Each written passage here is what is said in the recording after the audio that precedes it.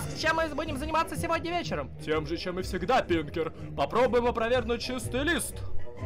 А вот Пинкер, вот ты мозг, вот Пинкер, вот ты мозг. И если мозг не гений, то Пинкер синтез. Хоть смейся ты, хоть плачь, не вылечит их врач. Ученые зомбируют людей. Ей, ей, ей, ей, ей, ей, ей, ей. Научный злобный план замыслили они, чтобы землю захватить и всех поработить. Вот Пинкер, вот и мозг, вот Пинкер, вот и мозг. Наивный сcientизм несложно объяснить. Их наполняет власть, ведь жизнь их удалась. Вот Пинкер, вот Пинкер, вот и мозг, мозг, мозг, мозг, мозг, мозг, мозг, мозг. А, нейронауки, биология. Эх! Здравствуйте, мои дорогие друзья, с вами Александр Шадов. Э, сейчас мы будем разбирать четвертую часть э, книжки Пинкера. Эта часть называется «Познай себя». Мы начинаем сразу с главы 12, минуя предисловие, ибо оно в данном случае смысла особенного не имеет. Для нас, для нас не имеет особенного смысла. Сейчас я сделаю погромче звук, а то как-то он потише. Вот вопрос, с какой э, еще реальностью мы ВКонтакте? Интересно, да, с какой реальностью мы ВКонтакте? Давайте узнаем. Отправная точка в признании человеческой природы, благоговейный трепет и смирение перед лицом ошеломительной сложности ее источника мозга. Ну вот, начинается мозгопоклонничество у нас сразу. Ну, поехали дальше. Неумение опознать крутой обрыв, голодную пантеру или ревнивого супруга может повлечь за собой, мягко говоря, неблагоприятные последствия для биологической приспособляемости. Фантастическая сложность мозга существует в том числе и для того, чтобы регистрировать важные факты о мире вокруг нас. Но во многих областях современной интеллектуальной жизни этот трюизм отвергается. В соответствии с релятивистской философией, э, превалирующей сегодня в академических кругах, реальность социально сконструирована э, использованием языка, стереотипами и медийными образами. Идея, что люди, э, людям доступны знания о мире, наивна. Говорят сторонники таких течений, как социальный конструкционизм, научные исследования, культурные исследования, критическая теория, постмодернизм и деконструкционизм. Согласно их воззрениям, наблюдения всегда подвержены влиянию теории, а теории идеологизированы и политизированы. Так что любой, кто заявляет, э, что владеет фактами или знает истину, просто пытается захватить власть над остальными. Ну, Окей, действительно. Действительно есть такие позиции, но есть такой здесь нюанс, что аргументов-то не будет в конце, да, то есть он просто взял, перечислил, Uh, да, просто есть истинная картина Пинкера для мира, да, истинная картина мира Пинкера, в которой невидимый неизучаемый человек прошлого где-то встречал пантеру и обрыв, а, а есть ложная, в которой сомневается в том, что познание возможно. Есть вера в то, что мы изучаем а, факты вокруг нас, а есть сомнения в этом, да, соответственно, есть, короче, вот как-то так. Первая позиция лучше, просто потому что. Аргументов тоже не будет. Куча тупых современных академиков, они не заслуживают аргументации, простите, да. Они ведь быдло, на колени гуманитарии, тупые, доказательств не будет. Вот, вот, вот Пинкер, вот в этом весь Пинкер, соответственно. А, более того, Пинкер утверждает, что релятивизм превалирует сейчас в академических кругах, и, честно говоря, никогда такого не замечал. Статистика обычно говорит об обратном. У нас вот по вопросам морали и философии больше 60% философов, философов вообще-то, философы, да, верит в моральные факты. Не, конечно, моральные факты это вообще антинаучная штука как таковая, да, то есть, ну, очевидно. Очевидно, что моральные факты это не про науку скорее. Но и не про релятивизм одновременно с этим. И не про невозможность познания скорее, да, то есть, э, скорее всего, подавляющее большинство людей, которые верят в моральные факты, они в познание, скорее всего, верят еще во что-нибудь там сверху верят. Они по-любому не релятивисты, ну, в области этики они точно не релятивисты, как минимум. А, соответственно, да. И сейчас Пинкер будет нам рассказывать о том, чего не понимает. Впрочем, об этом и вся книга, ну, вот такая вот тема бывает. Релятивизм связан с доктриной чистого листа двояким образом. Во-первых, у релятивистов есть убогая психологическая теория, согласно которой... О, убогая психологическая теория, мое почтение. согласно которой разум не оснащен механизмами, предназначенными для того, чтобы отражать реальность. Все, что он может делать, это пассивно загружать слова, образы и стереотипы из, окружающего, из окружающей культуры. Во-вторых, доктрина чистого листа использует релятивистский подход э, к науке. Большинство ученых считают, что работу, э, продолж... э, считают свою работу продолжением обычной способности понимать, что нас окружает и как все устроено. Ну, круто. Большинство ученых читает, все, конец. Диалог закончен, ну дальше, ну дальше и не надо, да. А, ну, поехали разбирать по пунктам. Во-первых, у релятивистов нет подобной теории. Более того, без аргументов высказывать, называть чужую психологическую теорию убогой, это ли не поспешно? Начнем с того, что релятивизм – это про то, что существует множество разных подходов к познанию, и не только, да, к, к взгляду на мир. И все они имеют место.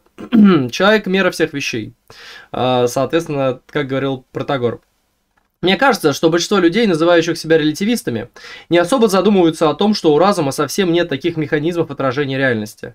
А, то есть кто-то задумывается, кто-то не задумывается, кто-то говорит, что их нет, кто-то говорит, что, а может быть, они есть, но они недостаточно хороши, и все равно искажают картину, кто-то там думает еще что-то. А, и проблема заключается в том, что этого-то, по сути, и не нужно для поддержания релятивизма. Даже если мы отражаем мир в некоторой степени достоверно, хотя вот ученые, они тоже, знаете, они не наивные реалисты в этом плане, безусловно. То есть мы не точно отражаем мир, мы его отражаем как-то все же несколько косвенно, да, как-то мы перерабатываем всю эту информацию.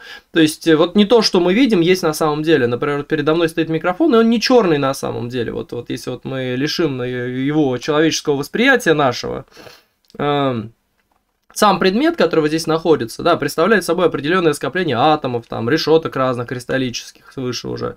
Эм, потом там, не знаю, уже, уже материалы вот эти вот все друг на друга наслаиваются.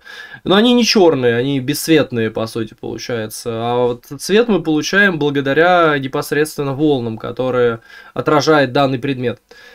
да. Ну, то есть это не в прямом смысле э, наивный реализм. И ввиду этого, ну, опять же, вопрос, а нас, ну, то есть мы достоверно, ну, не достоверно, ученые достоверно, ученые не достоверно, ладно. Ученые, как им видится, достоверно знают, что мы не являемся, ну, что мы познаем не наивно-реалистически. Э, концепция познания и восприятия, которую продвигают ученые, она радикально отличается от наивного реализма. Это значит, что все-таки как-то мы мир этот искажаем при восприятии, значит, мы как-то его э, немножко по-другому понимаем, да, и, соответственно, это может быть принципиально важно именно для познания. Э, для меня вот э, как бы вполне очевидно, что есть у нас две задачи в мире, да. Практическая задача и задача теоретическая. Две фундаментальные задачи человечества, так скажем. Вот они, мега фундаментальные задачи человечества. И все они решаются по-разному. Практическая задача не упасть в ров. Практическая задача не умереть. Практическая задача, там, не знаю, сыто питаться и, допустим, там оставить потомство. Допустим, да. А, огромное количество практических задач. И теоретическая задача. Теоретическая задача, по сути, представляет собой... Что она представляет собой? Совершенно другой процесс. Узнать истину, узнать реальность, как она устроена. Для того, чтобы не попасть в ров, не обязательно знать истину и реальность. надо научиться определять ров. Ну или как минимум надо научиться определять, а в каком конкретном месте в каком конкретном месте нас ждет, э, собственно, падение, да, в феноменальном этом мире. Ну и мы, э, собственно, рассчитываем на наши феномены в данном случае. А, даже в случае с эволюцией, даже в случае с принятием эволюции, нам ничто не гарантирует того, что мы воспринимаем и познаем реальность как таковую. То есть наши механизмы защиты и выживания – могут быть настолько хороши, настолько, чтобы мы выжили, как минимум. Ну, например, у червей таких механизмов вообще значительно меньше, они все равно выживают. А, не знаю, у муравьев их тоже немного, но они тоже выживают. У кого-то там э, еще больше, чем у нас механизмов, там тепловизоры какие-нибудь, еще что-нибудь. Но они тоже выживают, конечно. Вот. И в этом плане э, даже теория эволюции, она не дает нам ответ. Вот представим, что мир устроен так, как сказано эволюционистами, да, допустим. Даже это не дает нам гарантии э, на то, что мы познаем э, мир и делаем это более-менее объективно и как-то вот так вот. Пинкер по какой-то причине практическую теоретическую задачу просто объяснил, объединил без объяснения, почему он их объединил. А, потому что, ну, на мой взгляд, действительно, задачи категорически разные. А, обрыв, э, не знаю, обрыв, обрыв, обрыв, там, не знаю, миновать, миновать хищника или узнать, а что такое этот за хищник, э, как он там выглядит, что у него, не как он выглядит, что, что в нем вообще есть, откуда он появился. То есть, да, э, задача теории, в том числе вот познавателей нашей теории, теория реальности – это узнать, а что вообще этот тигр вообще тут делает, как он откуда появился, каковы причины этого тигра, по сути, да. А практика, ну, о, тигр, бежим. То есть, да, вот, вот это два разных э, режима работы и восприятия, и осмысления, и так далее, так далее, так далее. Да, Пинкер опять пытается переиграть самого же себя в шах... на шахматной доске из выдуманных им же самим глупостей, и это, ну, на мой взгляд, крайне странно.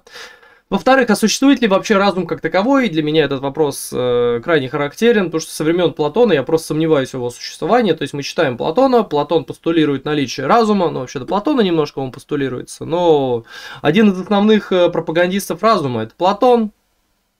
Э, почему ты не видишь стульность? Э, потому что у тебя разума нет, соответственно. Ну вот. В целом здесь можно сказать, что разум это такая способность, э, без которой, во-первых, можно было бы обойтись, э, по крайней мере, в нашем практическом опыте можно было бы обойтись. Не нужно, не нужно видеть стульность, чтобы выживать, да. Стульность это какая-то уже вот ерунда. И более того, всякие платоники, включая, кстати, философов разных, они вообще превышают способности разума. А сcientisты, они вообще изменяют определение разума. Что вдвойне нам как бы усложняет задачу. Да, мы уже спрашивали, не, вообще, в принципе, интересно, а существует ли разум как таковой, как отдельная способность, как конкретно отдельная способность? Не является ли анализ и создание абстракции частью какой-нибудь более общей способности? Там, например, я не знаю, способности к речи, к воображению, там, вот чуть-чуть вот такое, по, к памяти, может быть, да? Более того, я считаю, что разум без памяти, в принципе, в кавычках, ну, невозможен. Так что в целом какое-то переплетение этих способностей, оно всегда имелось и да, оно должно иметься. вообще трудно представить э, человека, да, у которого, ну вот прям вот технически, роботически отделены все способности друг от друга. У меня даже есть книга, посвященная апофатическому э, воображению, да, апофатическое воображение, так и называется. И там разбирается тема о способностях о том, как их можно рассматривать, о том, как их рассматривали до этого, о том, как их вообще, в принципе, еще можно рассмотреть. И там были выдвинуты определенные сомнения по поводу разделения внутреннего мира человека на ряд способностей. Потому что фактически оказывается, что все эти способности просто тесно переплетены. А, и, честно говоря, можно, наверное, только говорить о том, что имеется две фундаментальных тенденции в рамках этих способностей. К репродуктивности и к продуктивности. Репродуктивность это повторение, продуктивность это создание. А, вот. И все это работает, вот это вот это разделение на эти тенденции работает на всех так называемых способностях, от восприятия до памяти. То есть мы можем придумывать новые воспоминания себе и можем думать, что это воспоминание. Придуманное воспоминание, оно чем является? Какой способностью оно произведено? Воображением или памятью. А вроде бы мы эту память не отличаем от другой памяти. А, кстати, а наши обычные воспоминания, они как формируются? Под силой воображения или под силой самой чистой памяти? Что такое вообще чистая память? Существует ли она как отдельная способность? Ну, нет, наверное, там все очень тесно переплетено. И все друг от друга, в общем-то, зависит. Причем какие-то четкие векторы нарисовать, по-моему, не получится. Просто потому, что в этой памяти сливается, например, и восприятие, и мышление, и воображение, и в воображении сливается воспоминание, и вот это вот все становится очень-очень-очень-очень сильно неотличимым. Так что все отсылает ко всему здесь, скорее всего. Так вот, а Пинкер рассуждает о разуме как о волшебной познавательной коробочке, которая добывает объективные факты. Но я вообще сомневаюсь в том, что он есть как некая субстанция или сущность, как нечто существенное, как нечто важное. Да? Скорее, это удобное для описания некоторых явлений нашей психической жизни понятие, которое, которое невозможно отделить от остальных э, происшествий внутри нашего внутреннего мира. Э, третий пункт. Если мы не уверены в том, что существует какой-то отдельный разум, то как можно говорить о том, что у него есть механизм, да еще и реальная, реальность открывающую? Тоже интересный вопрос. Да, с чего Пинкер, четвертый вопрос, э, вообще взял, что разум открывает реальность? Это какая-то религиозная вера получается? Да, пятый вопрос. Пятая, пятая, пятая телега, так скажем. Фактически открывается, что применение того, что мы называем разумом, к разным общим темам и смогло нас привести к тому же релятивизму, скептицизму, агностицизму, постпозитивизму и многим другим вещам. Нет никаких оснований для того, чтобы наука имела право монополизировать разум со своей э, фантастической реальностью. Это правда. Шестой пункт. Если ученые считают свою работу продолжением способности понимать, как оно устроено, то я соболезную этим религиозным догматикам, которые ничего не знают про философию и не могут свободно рассуждать на многие темы и задаваться множеством важнейших э, для методологии познания вопросов. Отсутствие критического мышления и какого-либо мышления вообще у ученых, это для меня, конечно, не секрет, но я очень рад, что Пинкер в очередной раз подтвердил мои опасения а, в том, что ученые это просто радикальные догматики, которые без каких-либо доказательств верят в свои познавательные способности. Вот спасибо Пинкеру. Еще одно подтверждение подтверждение этому приведено. Седьмой пункт. М-м. Пинкер мог бы ответить, что доказательства есть. Мы исследуем мозг и так далее, но проблема будет заключаться в том, что э, у нас возникает логический цикл. Вера в объективность наших познавательных способностей гарантирует, что мы верно исследуем мозг, а исследование мозга поддерживает наше мнение по поводу объективности наших познавательных способностей. То есть, если мы заранее не уверены в своих познавательных способностях или считаем, что они другие, например, мы не можем познавать, э, не знаю, физические объекты, потому что они изменчивые, а только ментальные объекты, там, не знаю, идеи Платона, например, то в таком случае исследования мозга ничего не поддерживают. Но именно вот в таком цикле и формируется наша уверенность о том, что наши исследования мозга да, поддерживают объективность наших познавательных способностей, а наши познавательные способности поддерживают объективность наших исследований мозга. Просто цикл. А, логическая ошибка, по сути. А, а, вот. Если мы будем исходить из предпосылки, что мы не можем проводить объективных собственно, экспериментов, да, соответствующих реальности исследований, то исследования мозга окажутся недостоверными. Притом первое а, принимается просто на веру без каких-либо подтверждений. У Пинкера вот тем более, да, потому что это не является вопросом какой-либо науки. Это положение лежит в основании всех наук, и ввиду этого, ну, просто вот. В науке есть догматика, которая заставляет нас входить в этот э, бесконечный круг, в эту логическую ошибку. И мы начали исследовать мозг, исходя из этой догмы. То есть, что первее, курица или яйцо, а, что первее, мозг или наше исследование мозга. В данном случае наше исследование мозга, сначала начали исследовать мозг, и потом уже оно вот так вот пошло по кругу. А, и завело нас в логическую ошибку. Ну, просто на протяжении долгого времени ни философы, ни ученые нормально мозг не исследовали. И поэтому были определенные представления о познании. Ну и внутри науки тоже эти представления были. И, соответственно, эти представления были до того, как мы начали исследовать мозг. А потом к наукам на мозге эти представления были применены, соответственно. Вот. Вот какая простая картина мира на самом деле получается, и соответственно, и соответственно, ну она сомнительна, что, что я могу сказать, она не ложна, она просто сомнительна, потому что первая посылка, посылка вообще о возможности познания, посылка о возможности эмпирического познания, а, да, не просто эмпирического, еще и научного познания, она просто здесь решается, вот, вот просто решается, просто вжух, и она решена. Восьмой пункт. Ну и как положено, следует повторить, что Пинкер везде пропихивает свой чистый лист. И в релятивизм, который нейтрален к чистому листу. А, а вдруг, а вдруг, какая разница релятивизму, если там врожденные идеи или нет? Какие какие-нибудь. А может в разных людей разные идеи врождены, вот вам релятивизм. Ну, релятивизм сам по себе вообще в принципе не противоречит э, даже ни врожденным идеям, ни чистому листу как таковому.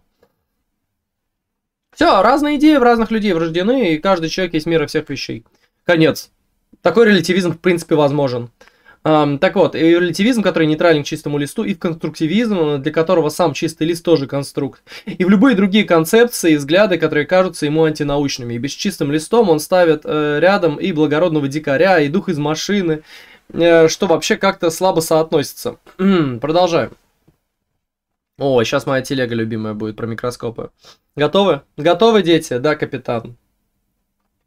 Телескопы и микроскопы, пишет Пинкер, усиливают зрительную систему. Теории формализуют наши интуитивные представления о причинах и следствиях. Эксперименты помогают реализовывать наше стремление собрать данные о событиях, которые мы не можем наблюдать непосредственно. Ну, Важно заметить, что Пинкер искренне верит в натуралистическую картину мира, в которой правит наука. Ведь телескопы и микроскопы это просто усиление глаза. Просто усиление и больше ничего, понимаете? Ну, то есть, э, и нет никаких сомнений в том, что на определенных масштабах все эти технологии могут показывать не то, что есть на самом деле, искажать информацию или, например, изображать то, чего нет. Пусть и то, что соотносится с практикой, в скобочках все-таки, да? Если в случае с подзорной трубой мы можем проверить то, что мы увидели далеко-далеко на горизонте, ну просто подойдя туда, да, то в случае с космическим телескопом или микроскопом э, мы никогда не можем подойти э, и своими же глазами удостовериться в том, что перед нами находится, например, амеба или там галактика какая-нибудь. И мы не можем долететь до звезды Бетельгейза, чтобы удостовериться в ее существовании и колоссальном размере, который описывают ученые. Да вы чего говорите? Пинкер, это же про Пинкер, да? Это, вы чего? Пинкер же говорит, это просто усиление зрения, все нормально. Никакого пробела здесь точно нет. Обычно такая уверенность в истории заканчивалась тем, что взгляды человека, основанные на такой догматической уверенности в средствах своего познания, с позором опровергались. Я не говорю, что мы должны отказаться от телескопов и микроскопов. Я лишь говорю, что сомнения в их, в кавычках, простоте все еще обоснованы и имеют множество оснований, чтобы не связывать тот поток феноменов, который мы наблюдаем, и реальность, о которой мы мечтаем. Э, более того, э, с чего Пинкер взял, что наши представления о причинах и следствиях интуитивные? Многие их описывают как вполне культурные. Если человека не обучать, то никаких подобных представлений он иметь, скорее всего, не будет. После Пинкер цитирует какого-то марксиста, пытаясь обвинить его в релятивизме. И опять дротик попадает мимо цели. Цитируем. Да, у релятивистов есть основания утверждать, что мы не просто открываем глаза и воспринимаем реальность словно восприятие, окно сквозь э, которое душа смотрит на мир. Идея, что мы видим вещи такими, какие они э, есть, называется наивным реализмом и была развенчана философами, скептиками тысячи лет назад с помощью простого феномена оптических иллюзий. не, ну он реально тупой, тут как бы вопросов нет. Я прошу прощения за то, что сорвался, но он ведь реально очень тупой. В рамках идеологии наивного реализма иллюзии просто будут описываться э, как то, что произошло на самом деле. Вот и все. И они сами по себе не опровергают наивный реализм. Ну просто, да, иллюзии, сны. Вот это я, чего-то я их ощущал же. Ну, значит, так и было. Вот я во сне, не знаю, на розовом единороге скакал, значит скакал, все нормально, вообще, вообще расслабьтесь. Вот вам и наивный реализм. И в этом нет никакого противоречия, просто мало кто готов последовательно до конца дойти в наивном реализме. в нем противоречий-то внутри просто нет а, таких вот основательных. То есть, серьезно, ну, галлюцинация возникла. Ну, ну, возникла и возникла. Ну, значит, вот она есть галлюцинация. Все нормально. А, Вообще важно заметить, что история с реализмом, она видится мне довольно сложной. И, во-первых, большую часть критики наивного реализма сыграла как раз догматическая наука, а не скептики, которая исходила из натуралистического исследования реальности. Мода на науку сделала невозможной веру в наивный реализм по многим комплексным причинам главной из которых стала сама позиция науки по данному вопросу. Наивный реализм противоречил научным данным и делал их недостоверными. А потому людям пришлось разрабатывать другие формы реализма. Сам факт того, что мы называем иллюзией, вполне легко описывается из наивно-реалистической парадигмы. Пинкер э, все же так и не может понять, что у познания существуют разные призмы, и разные учения могут вместить в себя весь объем существующих фактов. И он не понимает, как концепции заменяют друг друга. Он живет в сказке, где есть очевидная истина, где есть реальность, которую легко можно обнаружить. Но это крайне спорно и наивно наивные убеждения. Вообще, основная проблема Пинкера заключается в том, что он чаще всего не доказывает, а рассказывает, а после этого делает какие-то оценочные, одобрительные и неодобрительные высказывания в духе. Наивный реализм – это глупость. Или неодобрительные высказывания. Да, да, да, да, да, да, да. У нас нет сомнений в том, что наука это хорошо. Вот они там, да, вот эти вот одобрительные, неодобрительные оценочные высказывания. И так далее. Например, но только из того, что образ мира, который мы знаем, смоделирован нашим мозгом, не следует, что это случайная модель. Фантазм, порожденный ожиданиями или социальным контекстом. Наша система восприятия приспособлена регистрировать свойства внешнего мира. Просто, ну нет, пацаны, мир вокруг нас не фантазм, потому что наша система восприятия приспособлена регистрировать свойства внешнего мира. Все, все, и больше ничего не будет. То есть, смотрите, да, вот у нас есть два утверждения, у нас есть два утверждения. Есть утверждение, да, наша система восприятия приспособлена регистрировать свойства внешнего мира, и наша система восприятия не приспособлена регистрировать, э, собственно, свойства внешнего мира. Есть третья позиция, вообще этих систем восприятия не существует. Допустим, мы живем во сне, и никакого восприятия нет. Потому что ну, для того, чтобы было восприятие, необходимо что-то воспринимаемое. То есть, да, нужен, нужен тот, кто воспринимает, и нужно что-то воспринимаемое. Тогда, соответственно, происходит перцепция. Но если этой перцепции как таковой просто нет, Ну, ладно, мы, конечно, можем в каком-то смысле сказать, что существует поток восприятий, как у Беркли, да, вот этот, э, существовать значит быть воспринимаемым. Но просто чаще всего люди под восприятиями непосредственно понимают э, вот такую вот картину, когда у нас есть воспринимай, воспринимающий и воспринимаемое. И есть э, определенный мостик между ними, это чаще всего органы э, чувств. Ну, по Беркли органов чувств, получается, нет, на самом деле. Есть просто поток восприятий в душе, который просто Богом направляется, и мы, соответственно, вот их поглощаем таким образом. Вот, и Соответственно, соответственно, да, ну, следовательно, систем восприятия у человека тоже нет, получится, по Беркли, наверное, скорее всего, да, потому что какие системы восприятия? Вот есть душа, есть Бог, и восприятия просто идут от Бога к душам. О каких системах восприятия может идти речь? То есть, да, это ну, явно не уши, там, не нос, не глаза, все это тоже часть э, иллюзии, которая создает Бог, по сути. Да, э, воспринимаемые иллюзии. Так вот, Доказательств всему этого просто не будет. У нас есть огромное количество разных позиций. К одной позиции мы относимся типа ок, почему? Да просто так. А к другим позициям мы относимся типа не ок, а почему? Да просто вот, вот так тоже. Вот, доказательств не будет. И другие ученые, я думаю, также считают. Потому что э, если это не так, то наука в целом, как познавательный проект, бессмысленна. Я не буду разбирать э, ваши множественные и очень э, разные концепции, ну, по сути, Пинкер, да, так и рассуждает, которые аргументируют разные аспекты в рамках теории познания. Я более того, сам не изучал теорию познания, и в этой теме не разбираюсь, но точно уверен, что люди, имеющие представление об этой области, могут быть э, обычным плевком в их сторону. Вот как-то вот так Пинкер считает. Пинкер думает, что достаточно просто рассказать о нелепой концепции этих сраных реалистов, притом не конкретизируя, чья это концепция, и распространяя ее буквально на необозримое множество разных человеческих группировок, чтобы показать их ничтожность. Пока эти убогие академики сидят и аргументируют свои позиции по тем или иным вопросам, Пинкер просто делает упрощенный пересказ и снабжает его оценочной характеристикой. Профит. Вот вся, вот вся аргументативная сила Пинкера. Мощь.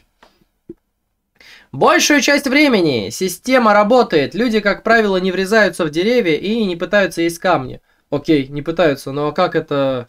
А как это доказать, да как это доказывать, что мы познавать можем? Допустим, мы существуем в симуляции. Допустим, мы существуем в симуляции. Симуляция, ну, я, я в нее не верю. Я да, даже скорее склоняюсь к тому, что мы не живем в симуляции, да. Но допустим, мы живем в симуляции, рассмотрим эту позицию. Там, там есть камни, там есть деревья, и мы в них не врезаемся. В игры, когда мы играем, мы тоже не врезаемся в камни и деревья. Что это значит? Что мы можем достичь познания? Здесь пропущены логические ступени какие-то, на мой взгляд. Да, очень много логических ступеней в данный момент пропущено. Интересно, они будут восполнены? А, не, не будут. В смысле, это же, это же очевидно, ребят. Вы, вы чего? Это же очевидно. Познал камень, познал вселенную. Увернулся от камня, да, не съел камень и познал вселенную, молодец. Не врезался в дерево, ты уже познающий субъект и гений. Но у Пинкера, на мой взгляд, буквально детское мышление. Хорошо, конечно, что он запомнил множество фактов и умеет грамотно писать, но относительно уровня дискуссии это все то же самое. Критикуешь гравитацию, выйди в окно. Человек принципиально не понимает основы основных философских проблем познания. Он думает, что все проблемы познания автоматически решены наукой, а философы буквально устаревшие шизы, у которых не было под руками научных данных, и поэтому они такие тупые бездарные и ерунду несли. Он принципиально отказывается э, понимать, насколько сложна эта тема познания вообще. Он буквально как маленький ребенок, который принимает свои фантазии за реальность. У него есть красивый нарратив, в который он верит, и в итоге он этот нарратив просто пересказывает. А потом пересказывает плохой нарратив с презрением и насмешкой. Вот и все. Вот, вот Пинкер, вот вам Пинкер, вот красавчик, вот молодец. Есть третья альтернатива, пишет Пинкер, что мозг развил не безошибочные, однако разумные механизмы, работающие, чтобы держать нас в контакте с теми свойствами реальности, которые были важны для выживания – и размножения наших предков. Э, ну да, Пинкер, конечно, идиот, который не знает историю философии, он не представляет себе историю становления того же научного метода и не знает, какими механизмами руководствовался в кавычках разум в познании окружающего мира. Многие методы познания, например, платонические, были максимально оторваны от эмпирического мира. Вообще европейская философия, европейской философии свойственен этот отрыв и свойственно заглядывание э, на истину вечности. Но не каждый философ в Греции делал так, как и не каждый философ философов в Индии и Китае. А, также важно понимать, что платонизм повлиял на развитие математики как таковой, которая в чистом виде не имеет никакого отношения к окружающей нас реальности. Скорее, ну, вероятно, да. Да и сейчас все эти математические и платонические подходы неплохо чувствуют себя с наукой. Платон научил нас э, смотреть э, сверхэмпирического, и наука усвоила этот урок. Отсюда все эти шизофренические вечные законы, неизменные формулы, которые работают везде и всегда, в любом пространстве, любое время. Отсюда и теории, заглядывающие на миллиарды лет назад. И многие другие странные выводы, которые нельзя было бы сделать напрямую из фактов. Потому что если бы мы руководствовались строгой э, верификацией, у нас просто данных бы не хватило для тех или иных выводов. Например, мы бы не смогли рассуждать об эволюции на просторах многих миллиардов лет и миллиардов, квадриллионов, может быть, видов разных. А, несмотря на обилие эмпирических материалов, их всегда будет недостаточно достаточно, чтобы подтвердить э, набор э, таких абстрактных суждений. Сам факт, э, что мы нуждаемся в абстракциях, тоже говорит скорее против того, что познание устроено так, чтобы соответствовать реальности. Научная картина мира использует абстракции для описания мира и иногда относится к ним слишком серьезно. Но ведь в науке нет онтологического места этим абстракциям. Эволюция это нереальный онтологический дух – а естественный отбор э, не какая-то субстанция, это просто абстрактные формы описания имеющихся фактов и попытка описать и, и предсказать возможные факты, будущие. Это описание абстрактного механизма, но самого механизма при этом онтологически не существует. Он не объект, не вещь, не дух, не идея Платона. Понимаете, в чем дело, да? То есть в научной картине мира места абстракциям нет. И, соответственно, эволюция, эволюция, аналогов эволюции в природе не существует. Еще, еще раз, да, подумаем. Вот смотрите, эти идеи Платона. Возможно, в реальности они тоже есть. Это реально существующие идеальные объекты, соответственно, эти идеи Платона. И вот они, они типа есть. Да, онтологический статус высокий, да, соответственно, если они есть. У объектов есть онтологический статус. Да, есть высоко, хорошо. У вещи тоже есть. У духа тоже есть. А у эволюции есть? Нет. То есть даже согласно теории эволюции, даже согласно представлениям биологов, по сути, эволюция, она не представлена онтологически. Это в любом случае абстракция. Вот. Заявление о том, что нет никакой эволюции естественного отбора, оно вполне релевантно, и нам для этого не нужно отказываться от естественной установки и веры в то, что организмы на протяжении миллиардов лет менялись. Понимаете, в чем дело? Потому что вот это вот, они менялись, это уже большая абстракция. Ну вот отдельно вот, это, вот этот организм, он взял и поменялся. Окей, окей, хорошо, да, и все, меха... все они, наверное, тоже так менялись. Я, конечно, не могу об этом заявить с точностью, потому что верификация здесь не сработает. Я не могу собрать все примеры перемен и сказать, что все организмы менялись. Это будет просто, ну, это будет вероятностное суждение просто-напросто. Не более того. А, но вот при этом всем, вот при этом всем, да, при этом всем, я в принципе даже при всех этих условиях могу сказать, что никакой эволюции не существует. Ну, у нее нет антологии никакой, это просто описательная система абстрактного механизма. Мы, люди, начали придумывать абстрактные механизмы в контексте нашей истории и философии, и мы начали применять их к определенным вещам, соответственно. А, только вот менялись конкретные организмы, эволюция это просто удобная абстракция. Мы воспринимаем ее так серьезно из-за платонизма и философии универсалей, которые в том числе помогли сформировать многие научные догмы. Но всегда были и другие философские течения, которые не руководствовались теми же механизмами. Если бы мы к теории эволюции не относились так серьезно, да, если бы мы учитывали, что, ну, вообще-то да, это абстракция. Вообще-то да, мы ее не верифицировали нормально, ее невозможно верифицировать полноценно.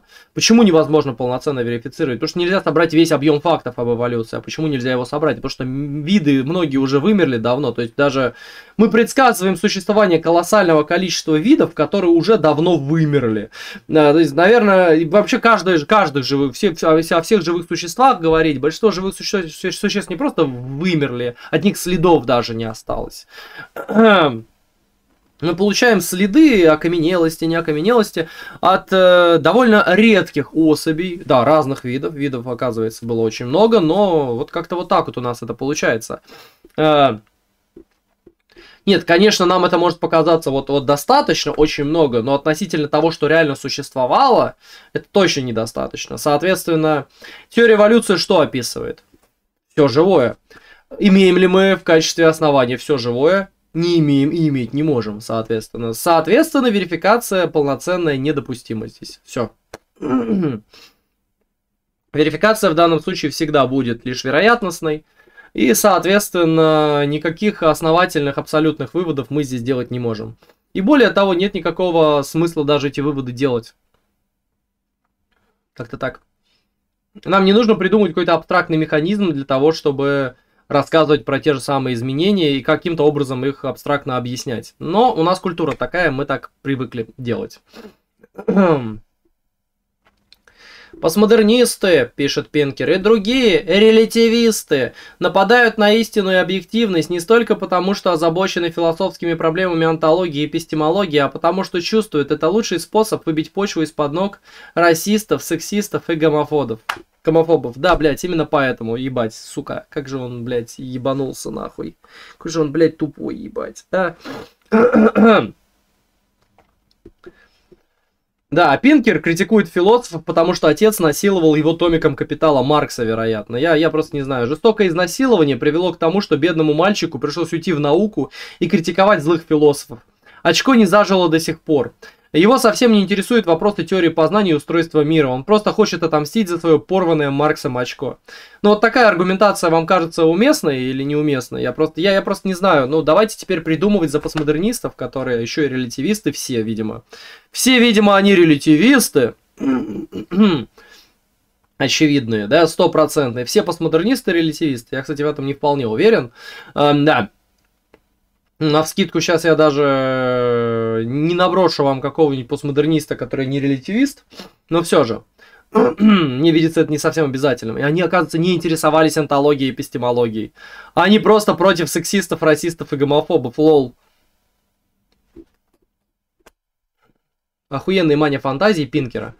Философ Янг Хакинг составил список из почти 40 категорий, которые недавно были названы социально сконструированными. Яркие примеры – раса, пол, мужественность, природа, факты, реальность и прошлое. Но список расширяется и сегодня, включая авторские права, СПИД, братство, э, выбор, опасность, деменция, болезнь, индийские э, леса, неравенство, спутниковая система Landsat, э, медицинская иммиграция, национальное государство, кварки, школьный успех, серийные убийцы, технологические системы, преступления белых воротничков, женщин-беженцев и национализм племен Золу. По хакингу связующая нить здесь, э, связующая нить здесь убеждение, что категории не определены природой вещей, а потому не постоянно. Вывод. Э, нам было бы гораздо лучше, если бы мы покончили с ними и решительно пересмотрели. Так а что не так? Э, они что, не социально сконструированы?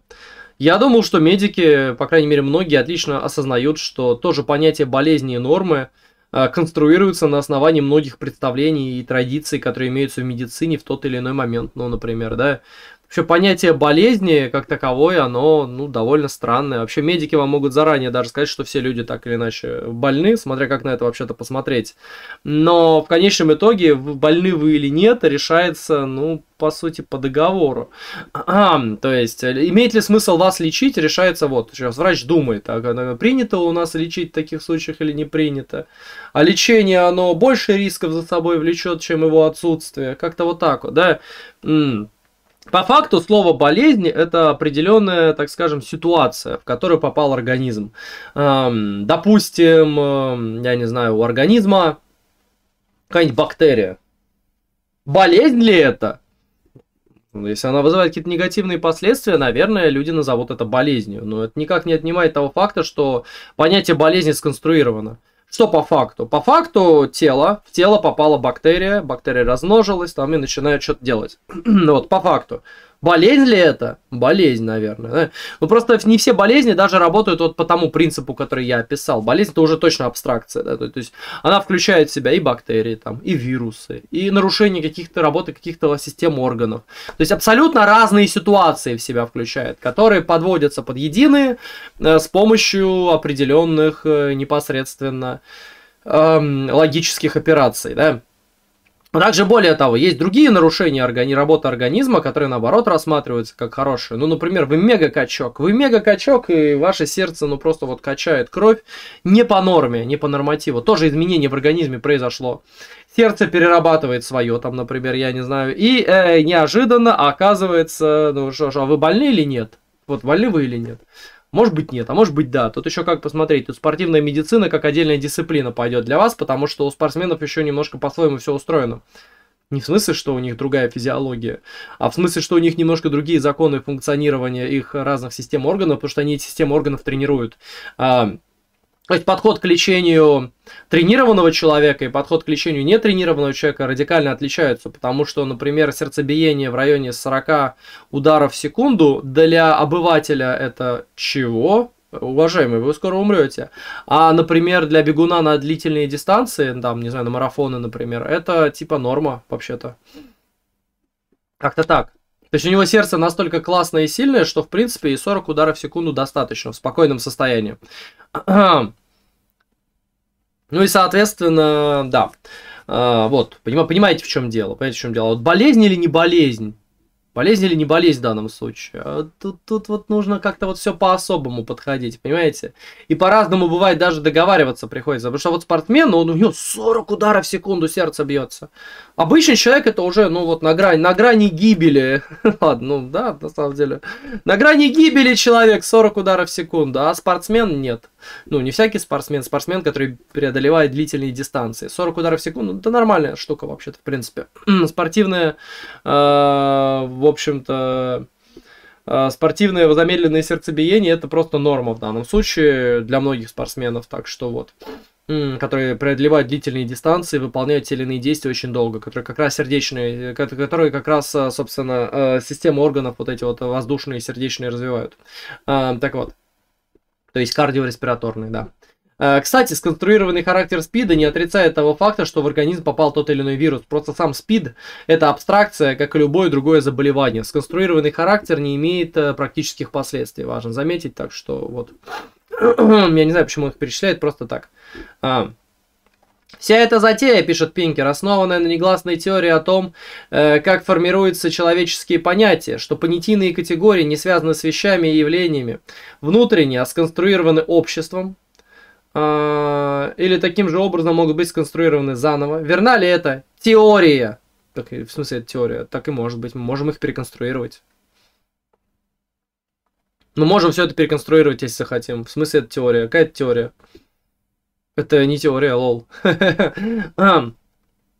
Это практика. А в некоторых случаях она содержит зерно истины. А, как мы видели в главе 4, некоторые категории действительно являются социальными конструктами. Они существуют только потому, что люди пришли к негласному соглашению действовать так, словно они существуют. Так люди по поводу всего так пришли. Например, деньги, собственность, гражданство, награды за храбрость и должность президента Соединенных Штатов. Но это еще не значит, что все понятийные категории социально сконструированы. Ну, конечно, не значит, но просто не, не, не, кое-что другое значит.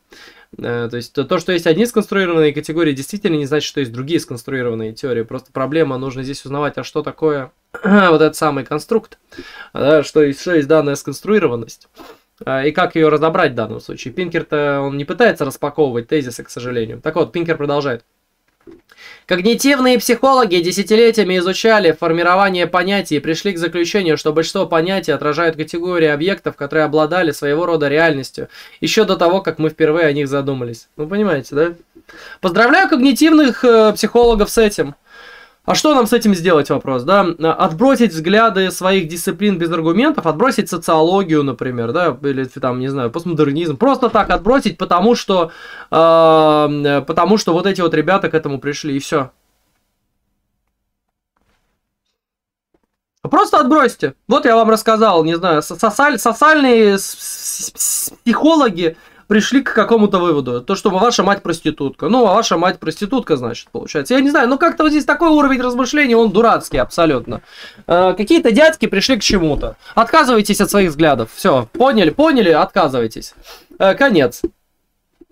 Просто сдаться нужно, потому что когнитивные психологи к этому пришли. Я не понимаю, что хочет мне сказать Пинкер в данном случае. В социологии много десятилетий формировался социальный конструктивизм с множеством аргументов в свою пользу и описательной моделью действительности вокруг. Он предлагает отказаться от десятилетий, э, э, десятилетий накопленных аргументов, потому что какая-то другая группа людей, э, то есть когнитивные психологи считают иначе. Я вообще могу э, понять, э, как можно убедить таким образом обычное быдло с улицы. Мол, оно ничего не понимает, знает, и вот, э, вот вам авторитет, когнитивный психологов, он может на них действительно подействовать. Но как убедить в этом специалистов, которые уже давно э, через свою призму могут сомневаться в биологии и когнитивной психологии? Вот вопрос, как это сделать?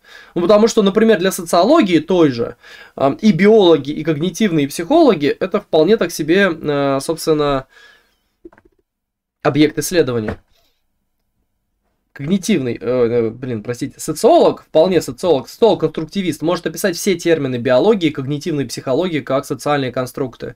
А более того, если мы подойдем с точки зрения социологии знания, мы так вообще можем еще и описывать социальные разные вещи, как вот происходит взаимодействие между биологами когнитивными психологами э, внутри их сообществ и внутри друг друга в том числе, и описать, как возникают те или иные конструкты в этой самой, собственно, дискуссии. Аргументов-то не будет у наших оппонентов. Пинкер такой, а, не, все нормально, забей, забей, не, фигня, не, фигня, давай по новой. Сейчас повторю тебе, что, опять же, да, а, специальные психологи, психологи, хуёлоги пришли к выводу, ну и так далее. Ну, окей, хорошо. А, Потом идет аргументация через мнение большинства когнитивных психологов. Забавно, что автор пытается подкупить нас их авторитетом. Для меня лично любая научная секта – это всего-то секта, и без дополнительных причин и аргументов я точно не буду э, повторять э, за этой группой какие-то утверждения. Например, высказывание «большинство евангелистов считает» для меня буквально ничего не значит. Точно так же и высказывание «большинство когнитивных…» Ну, кроме того, что большинство евангелистов считает, если это действительно измерено хорошо, большинство евангелистов считает, ну, вот такое убеждение у евангелистов. Точно так же и высказывание большинство когнитивистов находится для меня в том же самом месте в иерархии достоверности. Ну, считает это та группа людей. Для меня это ничего больше не значит, кроме того, что эта группа людей так считает. Ну и пусть считает. Я в целом э, представляю, э, как складываются те или иные методологии, а потому могу представить, что в методологии науки э, и когнитивистов в частности есть такие спорные посылки, которые мы уже э, множество раз разбирали. А, что, да, и чтобы доверять им, э, ну, доверять им очень сильно не стоит. И не стоит доверять им сильнее, чем тем же евангелистам. Ага. Идея, что стереотипы изначально иррациональны, обязаны скорее высокомерному отношению – к обычным людям, чем хорошему психологическому исследованию. Многие исследователи, обнаружив, что у людей есть стереотипы, э, решили, что они э, должны быть нерациональны. Ученые чувствовали себя неуютно при мысли, что некоторые черты могут быть статически верны, э, статистически верны для некоторых групп. Они никогда это не проверяли на самом деле. Ситуация начала меняться в 1980-х. И сегодня существует достаточно убедительных подтверждений точности стереотипов. Определение стереотипа. Стереотип, принятый в истории общности, э, образец восприятия, интерпретации информации, основанный на предшествующем социальном опыте. Он по определению, во-первых, иррационален, это во-первых, да, то есть он принимается в исторической общности не с помощью там аргументов, не аргументов, всего остального, а просто строится на некоторые традиции и, соответственно, социальном опыте. Это нормально, что он иррационален, и даже, может быть, иногда стереотипы совпадают с некоторой абстрактной действительностью. А, Невозможно доказать, что стереотип рационален никакими опытами. У него уже в определении проблемы с рациональностью. Это даже не проблема, ну просто вот иррациональный процесс. У людей есть рациональные процессы. Составлять стереотипы – это тоже иррациональный процесс. Если какая-то вещь, она принята вами не в исторической общности, э, да, ну, то есть, если она не является интерпретацией информации, то есть, ну, соответственно, да, а если это уже что-то другое, если это какое-то знание, то это уже не будет стереотипом, соответственно. А вот знание рациональное в данном случае случае, да. Ну, вот тут опять же Пинкер будет исходить из своего определения рациональности, вероятно. Ну, опять же, блин. Блин, Пинкер мог бы заранее просто сказать, я использую такое определение рациональности, а мои оппоненты используют другое определение рациональности. Они у нас просто разные, очень разные определения рациональности, простите. И убрать все эти главы отсюда, потому что они не нужны к черту. А, он по определению опытом. Э, если какой-то стереотип по типу негра ворует телевизора окажется статистически достоверным, то мы на уровне сбора опыта его классификации, то есть рационально, э, да, э, мы, мы уже не получим стереотип, мы получим знания то мы уже будем, да, то мы уже будем смотреть уже, как формировалось это представление. Если на уровне сбора опыта и классификации, то это уже окажется не стереотипом по определению. Вот, вот в чем дело. Проверенный статистический стереотип не есть стереотип. А если ваша иррациональная традиция трактовки чего-то совпала с действительностью, то это не значит, что в ней есть что-то рациональное. Это просто стереотип. Э, есть стереотип, что ученый умный, но Пинкер доказывает обратное, например, да? Поехали дальше. За некоторыми важными исключениями. На самом деле стереотипы достаточно верны, когда оцениваются по объективным критериям, таким как данные статистики или сообщения самих людей, которые касаются эти стереотипы. Да, например, стереотип о том, что евреи пиздец какие жиды, осуждаю, кстати, и хотят уничтожить мир в своем масонском заговоре. Вот это тоже правда, классный стереотип. Я бы также сказал, что большинство стереотипов оказывают как минимум... Э, да, да, действительно, стоп, в скобочках нет. Я бы не сказал, что большинство стереотипов оказывают как минимум верны. Впрочем, Пинкер не привел подсчеты верных и неверных стереотипов, а потому его слова ничего не значат на данный момент. Кроме того, даже если стереотип верен, то это не значит, что он рационален. И рациональное не всегда ложное, рациональное не всегда верное. Ну, как-то так. Причем рациональное очень часто неверное, но иррациональное может быть часто и верно. И черт его знает. Честно говоря, он говорит о том, что это еще как минимум измерено было. Но это вообще не соответствует ни моему личному опыту, э, ни личному опыту многих людей. Стереотипы бывают очень разные, их очень много. Более того, я не уверен, что большинство стереотипов точны. Пинкер перечислил довольно безобидные стереотипы. Э, да.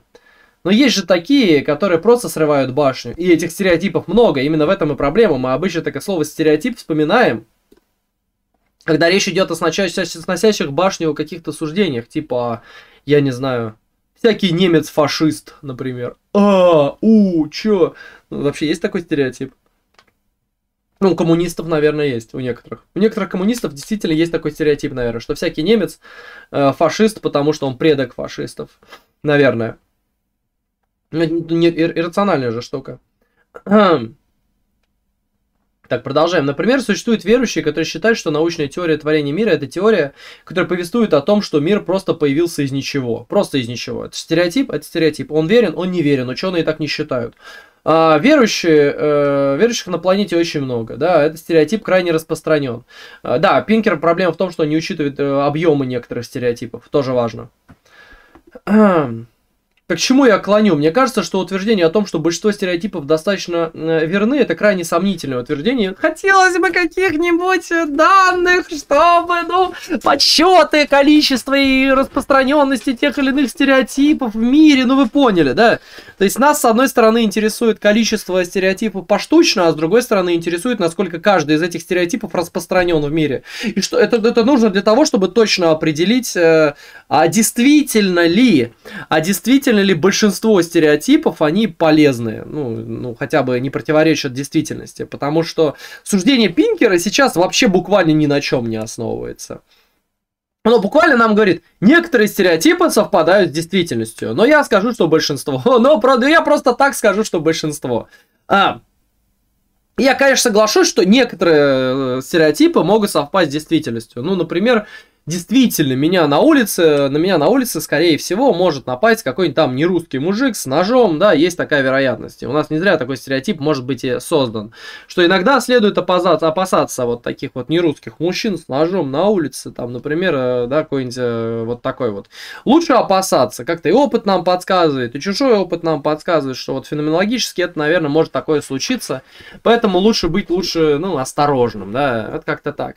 Стереотип, не стереотип, э, да, не каждый, не каждый человек не русский, соответственно, сделает что-то подобное. Не каждый человек не русский делает что-то подобное. Но на всякий случай лучше опасаться, потому что такое периодически случается. Особенно если какая-нибудь озлобленная компания людей где-нибудь собирается. Да и русских лучше опасаться, всех лучше опасаться, да. Ну, вот такая вот тема. А сейчас о важных исключениях пишет Пинкер. Стереотипы бывают я, но они не исключение. Это про- проблема в том, что, я не знаю, ну, может, половина стереотипов такие, в кавычках, исключения. Может, большинство стереотипов такие исключения. Надо бы посчитать. Надо бы посмотреть, а мы не смотрим на это. Стереотипы бывают явно ошибочными, если человек совсем не сталкивался или очень мало знакомства с стереотипизируемой группой, или сам принадлежит группе, открыто враждебной к первой. А во время Второй мировой войны, когда американцы и русские были союзниками, а немцы врагами США, американцы приписывали русским больше положительных черт, чем немцам. Несколько позже, когда союзниками стали немцы, американцы обнаружили в них больше положительных черт, чем русских. Да, часто так и бывает, и в этом проблема. И Пинкер, например, вещает стереотипные вещи э, про своих врагов. Он явно враждебен к академическому сообществу гуманитариев и социологов, а потому он вещает довольно ложные стереотипы. Часто люди имеют какое-то негативное отношение к тем группам или наоборот позитивное, что позволяет выбирать те или иные стереотипы. Понимаете, в чем дело? Неожиданно. То есть у нас э, весь мир нам враг по большей части оказывается. Вот я коммунист, допустим, но я не коммунист, но допустим я коммунист. И мне враги все капиталисты. То есть я составляю про них стереотипы те или иные. И они очень часто оказываются неверны. Весь мир нам враг так или иначе оказывается. Человеческие массы в целом крайне эмоциональны, как и интеллектуалы вроде Пинкера и многих других людей. Часто они перемешивают свои рациональные рассуждения с чистыми эмоциями, эм, сами того не замечая. И честно, я в принципе не вижу возможным проверку утверждений Пинкера о том, что большинство стереотипов достаточно точны, потому что, как он и сказал, имеется субъективный фактор. А люди, я добавляю, всегда оказываются предвзяты практически во всех аспектах своей жизни. Как тогда быть? Но кроме того, умение отказаться от стереотипов при оценке конкретного индивидуума достигается сознательным, взвешенным размышлением. Ну и не всегда только им, но оно действительно достигается, это правда. Такое может случиться, и вот это уже более рациональная операция на самом деле. Дальше. Суть этого рассуждения не в том, что стереотипы всегда точны, а в том, что они не всегда ложные, и даже, как правило, они не ложные. Но да, этого можно ожидать из склонность человека к категоризации, как и другие проявления интеллекта. Это адаптация, отражающая свойства мира, важные для нашего благополучия в долгосрочной перспективе. Насколько же странный этот аргумент. А я вот, например, не считаю, что стереотипы, как правило, не ложные. То есть я согласен с тем, что они не всегда ложные. Ну, Мало ли, какой-то стереотип совпадает с реальностью. Ну вот. Я не согласен с оценкой, что они, как правило, не ложные.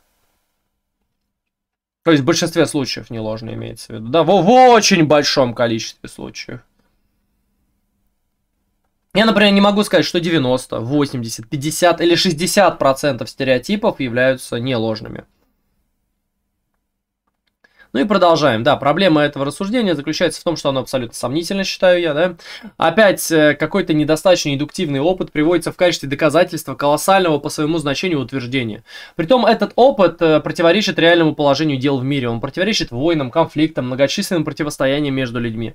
Очевидно, Пинкер снова пытается свести все к биологии, хотя оснований для этого у него в данной, на данной, в данной ситуации практически нет. Да. Даже если его суждение верно, кстати. Даже если он прав, у него, у него нет оснований, к сожалению, для этого. Что же следует из того факта, что многие стереотипы статистически верны? Например, то, что новейшие научные исследования о межполовых различиях нельзя признать недействительными, только потому, что некоторые из открытий подтверждают традиционные стереотипы о женщинах и мужчинах. Какие-то детали этих стереотипов могут быть ложными, но сам факт, э, что это стереотипы, еще не доказывает, что они не верны э, по всем статьям. Ну, гений, Пинкер, гений. Э, но если они верны, это не указывает на их рациональность и биологическую обусловленность. Иррационально вполне может получить, иррационально можно вполне получить правдоподобные данные, почему бы и нет. Ну, просто совпало. А, конечно, из того, что стереотипы бывают точными, не следует, что приемлемый расизм, сексизм и этнические предубеждения. Ну, смотря какие стереотипы. Если, например, стереотип предсказывает нам, что женщины хуже, ху, женщинам хуже даются точные естественные науки, он оказывается точен, то почему бы, например, не запретить женщинам обучаться на этих специальностях?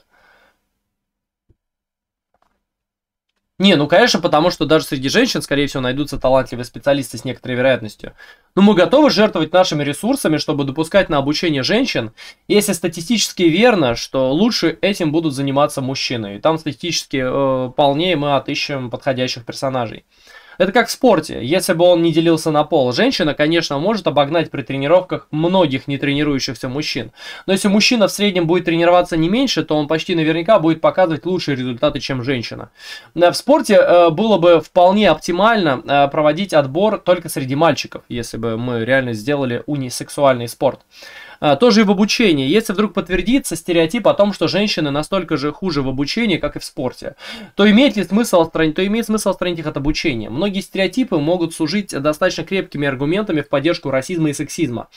И если они э, вдруг окажутся подтвержденными наукой, то аргумент станет еще крепче, очевидно. Вот. Правда, его все равно можно отконтрить, но аргумент будет крепче. Стереотипы, основанные на враждебных описаниях, а не личном опыте, заведомо неверны. Оу. А некоторые стереотипы верны только потому, что представляют собой самосбывающиеся пророчества. Ну, я бы заметил, что личный опыт обычно включает в себя эмоциональную сферу и через нее все пропускает. Это не всегда очевидная военная враждебность, иногда просто неприязнь, или презрение, или наоборот, чрезмерная любовь. Личный опыт слишком нерационален сам по себе. Более того, с чего Пинкер взял, что стереотипы, основанные на враждебности, ну или на описаниях таких, заведомо неверны. Например, я ненавижу женщин, допустим.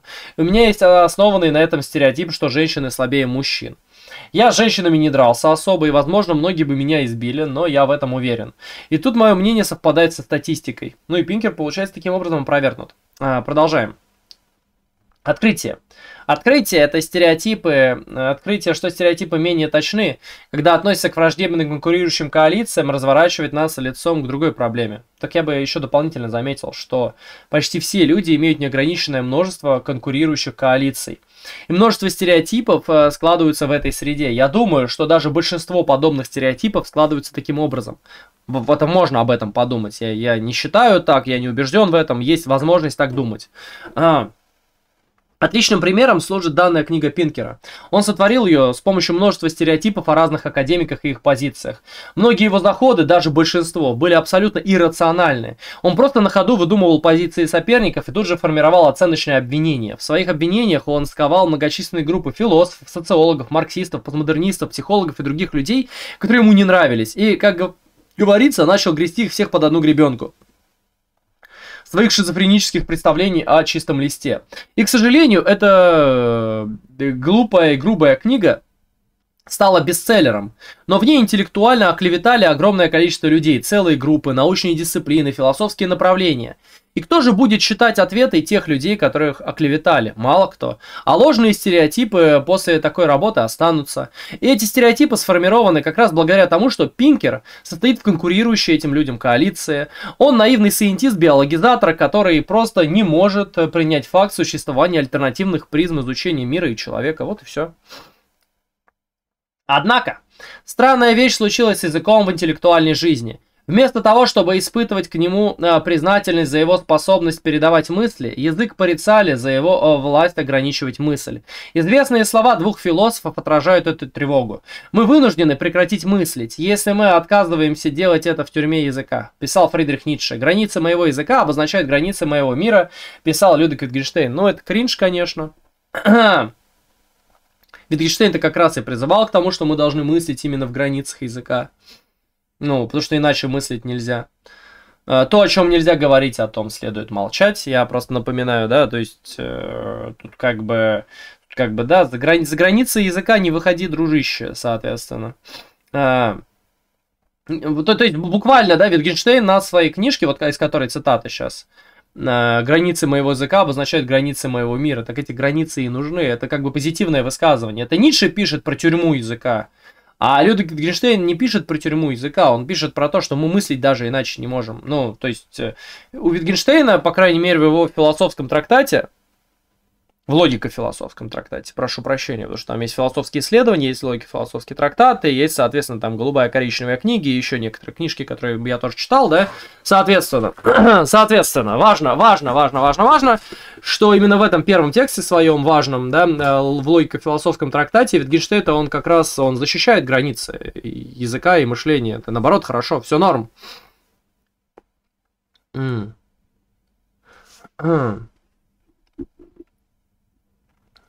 Так. Отсюда и его борьба против метафизики и философии у Wittgensteina. Отсюда его борьба против э, множественных философских понятий и категорий, которые на самом деле просто не имеют отношения, э, в общем-то, ни к чему. То есть мы окружены фактами, факты выражаются в языке. Если в языке не выражаются факты, то они бессмысленны, соответственно. Все, конец, конец, как бы. Здесь, здесь очень коротко можно это объяснить. Если у нас, э, соответственно, ничего не выражается нашим языком, то это просто бессмыслица, соответственно, да, и все у нас в этом самом языке и ограничивается. То, о чем нельзя говорить, о том следует молчать, и молчать, соответственно, следует о Боге, а что, чем вы о нем говорите, что за Бог, где он, как, когда, почему. Э, мы его не видим, мы его не чувствуем, мы его не ощущаем, ничего о Боге сказать нельзя, значит, это просто бессмысленно. Бог, которого нельзя описать, для Витгенштейна просто бессмыслен. Не зря Витгенштейна называют в том числе и философом языка, одним из фундаментальнейших для 20 века, одним из важнейших. Э, это человек, который повлиял на дискурс очень сильно. В общем, Wittgenstein э, важная фигура философии аналитической, э, важная фигура философии 20 века даже вообще, наверное. Наверное, наверное Wittgenstein такой человек, который э, очень хорошо повлиял не только на аналитическую философию, но и отчасти на континентальную философию. И в этом плане Wittgenstein, конечно, да, философ языка, действительно. Другие социальные науки тоже были склонны приравнивать язык и мысль. Ну, окей. Но если ну, да, но есть же и такие тенденции внутри философии, которые против приравнивания языка и мысли, а также есть критика языка философии, например, индийской в лице Нагарджуна, его последователей мадхьямиков. Ну, мы это все, конечно, разбирать не будем, это все, конечно, да, это, это, конечно, сильно, разбирать это, конечно, не надо, ну, ладно, бывает.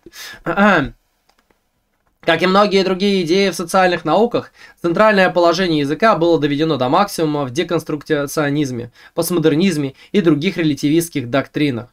Эм, эм, да. Работы таких э, прорицателей, как Жак Деррида, усыпаны афоризмами вроде «убежать от языка невозможно», «текст ссылается сам на себя», «язык – это власть», и ничего, э, нет ничего вне текста. Сначала социальные науки, потом Дорида. Что в голове у этого кудрявого пуделя, мне интересно. Какие-то релятивистские доктрины во всех социальных науках. Постмодернизм оказывается теперь полный релятивизм, хотя это далеко не всегда так. А, да. Потом в пример приводится Дорида, который действительно увлекся подобными рассуждениями. А, как будто это что-то значит. А, могу еще подкинуть, кстати, одно высказывание Хайдегера «Язык дом бытия». Вот как он такое? Тоже, да? А, но также важно заметить, что помимо преувеличенной значимости языка в философии, также есть и позиции, которые эту значимость преуменьшают, э, так что философия здесь не однообразна. Философия спорит, философия обсуждает, рассуждает, почему бы, почему бы и нет. Подобным образом, э, Хиллис Миллер писал, что язык это не инструмент или орудие в руках человека, не послушное средство мышления, скорее язык изобретает человека и его мир – если он позволит ему сделать это. Но э, приз за наиболее экстремальное утверждение вручается Роланду Барту, заявившему, человек не существует прежде языка ни как вид, ни как личность. И, ну, насчет личности, я не знаю, это, в принципе, приемлемое суждение. Ну, в принципе, оно, оно приемлемое в том плане, что мы его можем разбирать, оно имеет смысл что человек не существует прежде языка не как вид, это уже вот, вот, вот странное суждение, я бы заметил, но вот не как личность уже менее странное. Эм. Но опять же, да, мы, видимо, будем разбирать только отдельные цитаты или их аргументацию. А, не будем. Мы же не будем разбирать их аргументацию. Мы просто цитаты Волка прочитали, простите. Мы просто выделили рандомные цитаты Волка, и мы не будем их разбирать на истинность вообще никак. Ну, круто. Просто какой толк в очередной раз перечислять рандомные цитаты рандомных людей, а после начинать очередной рассказ, э, как оно устроено на самом деле. Не прочитав дальше, скажу, что сейчас нас ждет история о том, э, мол, что язык формировался эволюционно, является одним из способов приспосабливаться к окружающей среде. На самом деле язык не существует прежде языка, э, прежде человека, язык не является властью. Только вот аргументов не будет. В этом весь пинки рассуждение X экстремальное говно, мои суждения истина, вот потому что в науке так. Все, конец. Притом, дай бог укажет на то, что какие-то авторитеты это исследовали и составили свое мнение по данному вопросу. Как будто бы это должно нас как-то в чем-то убедить. Роланд Барт сказал хуйню. Типа, да? О, окей. Аргументов, кстати, его аргументов я к этому не приведу. Нам неизвестно, приводил ли Роланд Барт в данном случае аргументы к своей позиции. Просто, просто неизвестно. Не знаю. Просто вот неизвестно. Что дальше? А ничего. Все, вот я пересказываю вам правильную позицию. Все, я перескажу вам верную позицию, и мы на этом закончим. Это какой-то, больше даже на обывательский дискурс похоже, а не научный. Как, таким образом, пишет Пенкер, говорят деконструкционисты, язык – автономная система, в которой слова могут не иметь отношения к реальности и так далее. Язык э, – произвольный инструмент, а не посредник для выражения мысли и описания реальности. Облеченные властью люди могут использовать его, чтобы манипулировать другими и подавлять их. Ну вот, он пересказал некую обобщенную концепцию. Сейчас будет панчлайн.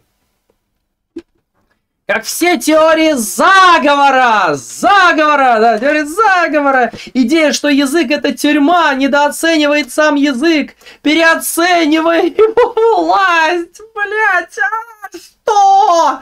Что, блядь? Что я прочитал? А, теория заговора, да, как все теории заговора. Идея, что язык это тюрьма, недооценивает сам язык, переоценивая его власть. Ух, блин. Ой, сегодня смотрю за как это э, не каждый может завтрашний день смотреть или как-то там говорил Кличко великий. Тут какая-то такая чепуха. А, это еще и теория заговора оказывается. Ух! Продолжаем. Речь чудесная способность, которую мы используем, чтобы перенести мысль из одной головы в другую, и мы можем применять ее по-разному, чтобы продвигать наши идеи. Но язык – это не то же самое, что мысль, и не единственное, что отличает человека от других животных, не основа всей культуры, и не изолированная тюрьма. Блять, ну я же сказал, что он это все напишет. Эм, да. Соглашение обязательное к исполнению границы нашего мира или решающий фактор постижимости – Бум! Ну что я говорил, ребят? Так Пинкер и сделал. Я просто заранее предсказываю, что Пинкер напишет. А, перечисляем там, не знаю. О, Кант писал, что там, я, я не знаю, существует антиномия чистого разума. Ну, конечно, Кант дурак, блядь, и, короче, поехали. Антиномии чистого разума не существует. Наука решила все эти проблемы. Кант сосать, короче. Сосать Кант. Антиномия чистого разума мы только что решили. Соси, блядь, соси Кант, короче. Кант говорил, что время и пространство это, собственно, априорные формы восприятия опыта, допустим. Да, о, нет, это не так. Соси Кант, ты дурак, блядь. Все, конец, лол. Ну, ну, типа, да, аргументация, мое почтение у Пинкера. Круто. Более того, он назвал эти концепции теориями заговора. Пинкер, ты сумасшедший, что ли? Где здесь заговор? В чем заговор тут? В чем тут заговор? Где тут заговор? Расскажите мне, пожалуйста. А, он не понимает, наверное, что вот эти вот суждения о языке отменяют его научную принципиально. То есть, да, э, то есть, если все есть язык, то есть, все есть язык, то на самом деле нам надо заниматься тем, чтобы познавать язык э, на самом деле, да. Э, а все языковые игры, языковые проблемы, которые существуют в науках, ну, это их проблемы, соответственно. Да, это просто, ну, получается, с помощью такой теории мы можем описать, как работает наука на уровне языка, например, да, с помощью вот такой, такой абсолютизации языка, например. А, и все, вот у нас призма такая составлена, берем призму, ставим, смотрим на науку с точки зрения того, что все есть язык. Ну и все, это работает. И проблема заключается в том, что вот, вот Пинкер и, и вот остальные люди просто исходят из разных аксиоматических положений. Их аксиоматические положения позволяют им описать науку и любую культурную сущность, что хорошо для вот той группы людей. И если их положения верны, то наука оказывается неверна, потому что она неправильно подходит к описанию данной темы. Вот и все. Конец. А, задача Пинкера, его задача в данном случае, показать, что их положения являются ложными. То есть вы понимаете, вы не просто выдвигаете противоположный тезис, вы параллельно пытаетесь его доказать или опровергнуть тезис оппонента. Недостаточно того, чтобы просто сказать, я не знаю, а нейробиологи так считают. А я вот так думаю. А вот правда вам, я вам сейчас расскажу, как оно устроено. Оно так не работает. Ты не просто должен вставлять, доставать из кармана волшебную способность и описывать ее с точки зрения своей догмы, а также пытаться уличить аксиому оппонента в ошибочности на каких-то более глубоких основаниях, чем просто несоответствие научной картине мира. Поверь, Пинкер, они и так э, знают, что их представления противоречат науке. И в этом для них нет никакой проблемы. Ответить на твои комментарии может буквально любой деконструктивист, и я тоже не вижу в этом никаких парадоксов. Честно говоря, я давно не читал такого текста, который так сильно пытается казаться умным и интеллектуальным, но при этом является посредственным и максимальной степени глупым. Да, я в целом избалован философией, потому что она старается рассматривать основания и спорить об основаниях. Мне очень трудно читать поверхностный текст, в котором аргументация э, ведется в стиле учебника, где важно не опровержение, а просто высказывание ложных истинных позиций с указанием, где правда, а где ложь.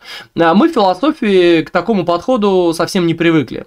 Представьте себе ситуацию, что кто-то просто возьмет высказывание Пинкера про язык, а после скажет, что они никуда не годятся и перескажет деконструктивистскую позицию. Вот то же самое и делает Пинкер, только наоборот. Это никуда не годится.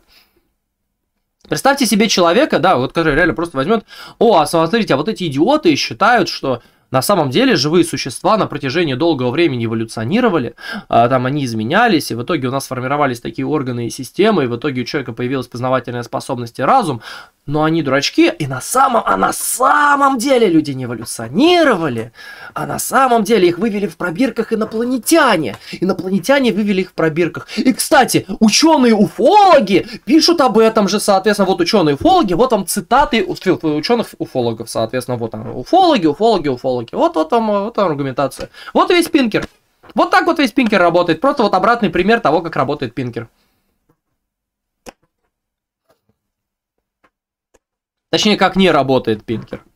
Язык, безусловно, влияет на наши мысли, пишет Пинкер. А не просто обозначает их ради обозначения. Очевидно, что язык это канал, через который люди обмениваются мыслями и намерениями, принимая, перенимая знания, обычаи и ценности тех, кто их... Очевидно, да, очевидно. Очевидно, безусловно, спору нет. Люди обмениваются мыслями через язык. Интересно, а почему люди тогда э, друг друга вообще, в принципе, с большой сложностью понимают? Почему такие проблемы в понимании? Почему люди могут понять друг друга только в области ука указательных определений или простейших практик? Указательных в смысле... Возьми бутылку. Или принеси мне стул, Э, принеси мне красный стул, да, я указываю более-менее конкретно. Почему мы вот так вот э, нормально друг друга понимаем, а вот когда речь идет о более абстрактных концептах, например, слово наука, философия, культурология, культура, там, я не знаю, религия, мы понимаем друг друга значительно хуже. Почему? Ну, видимо, у нас в передаче мыслей какие-то большие проблемы, особенно с помощью языка. Язык крайне ограничен в передаче мыслей. У нас есть ряд примеров, которые позволяют сказать, что, ну, да, некоторые мысли мы можем передать на уровне некой такой прагматичности. Там, бутылка, принеси бутылку, дружище, да, например. «А, купи миллион бутылок воды. «А, купи миллион бутылок воды, купи миллион бутылок морса брусничного, например. Может, брусничный там стоит. Ну, вот, купи миллионы бутылок морса брусничного, пожалуйста. А, окей, хорошо, засчитано. Можно так сделать. Но есть же огромное количество примеров, когда люди друг друга не понимают. Следовательно, тут какие-то с передачей мыслей проблемы. А. Да, но когда речь идет о сложных дискуссиях и образах, передать мысли языковыми средствами становится куда сложнее. Откуда множество абстрактных понятий, которые не соотносятся ни с одним э, наблюдаемым объектом? Почему этот канал работает так плохо и странно? Интересный вопрос, да? Ну, это просто вопросики такие накидываем. Продолжаем. Как колка, пишет э, Пинкер, заметил писатель Уолкер Перси, деконструктивист это ученый, который заявляет, что текст не соотносится с реальностью, а затем э, оставляет на автоответчике своей жены э, сообщение с просьбой заказать на обед пиццу пепперони. Я бы также, кстати, заметил, что проблема да, заключается в том, что абстракция пицца пепперони не является реальным предметом. Да, привезут какую-то конкретную пиццу, которая удовлетворяет мои желания на тот момент, может быть. А, да. Но мы сразу апеллируем к области нереального, то есть к абстракции пицца пепперони. И в целом на практике кто-то знает, э, чего мы от них ожидаем, приблизительно хотя бы. Это обмен мыслями, ну, в некотором, может быть, диапазоне, но не очень точно. Сложно сказать. Потому что здесь происходит довольно фор- все формально и скооперировано. На данную еду у нас наклеены ментальные ярлыки, где и написано, вот это пицца пепперони, и это пицца пепперони, и это пицца пепперони. А вот это вот брусничный, брусничный морс, вот брусничный морс здесь был когда-то. Я его выпил, правда, но здесь когда-то был брусничный морс, соответственно. Вот он был здесь. А, если мне принесут не брусничный морс или хотя бы что-то не красное, не похожее на брусничный морс, я, наверное, буду недовлетворен. Я вот не знаю, он на самом деле сделан из брусники, этот брусничный морс или нет. Может, он вообще не брусничный морс, меня просто напиздели, просто наклеили сюда брусничный морс как карточку, да, вдруг, вдруг, а откуда я знаю, просто налили какой-то красный херобора туда, ну вот вам и назвали это брусничный морс. Его вроде по вкусу тоже как брусничный морс, а там, может, вообще никакой брусники нет. Что делать? Что делать, как быть, да, соответственно. На... Но моим ожиданиям это так или иначе соответствует. Я выпил по вкусу, похоже на брусничный морс, поехали дальше. То же самое с пиццей пепперони. Пицца пепперони, ну, это объем, некий, это некий, некое абстрактное слово, которое включает в себя огромное количество разных пицц. Все они, эти пиццы, характеризуются некоторыми схожими свойствами. Ну, например, в них есть определенные ингредиенты. Причем эти ингредиенты часто могут быть смешаны несколько по-разному. Там может быть разная толщина теста, может быть разное количество там вот этих всяких там, не знаю, других заправок для этой пиццы. А, И, соответственно, заказать пиццу пепперони, заказать пиццу пепперони, ну, это не отсылка к реальности. И никакой реальностью это слово само по себе пицца пепперони не обладает. А, вот. А, у нас наклеены эти самые ярлыки, где написано «да, пицца пепперони». Когда я говорю, что хочу пиццу пепперони, я не указываю ни на один а, реальный существующий объект.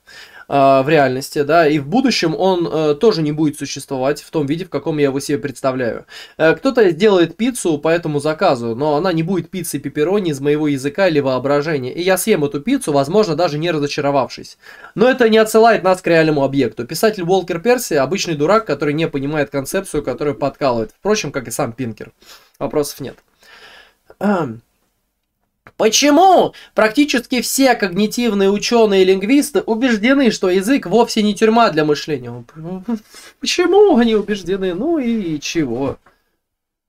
Во-первых, в ходе многих экспериментов, посвященных разуму невербальных созданий, таких как младенцы и приматы, оказалось, что у них существуют осно- основные категории мышления, объекты, пространство, причины и следствия, число, вероятность действия инициация поведения человеком или животным и функции инструментов. Опять ученые придумали какую-то чепуху из ничего. У младенцев и приматов обнаружили категории мышления.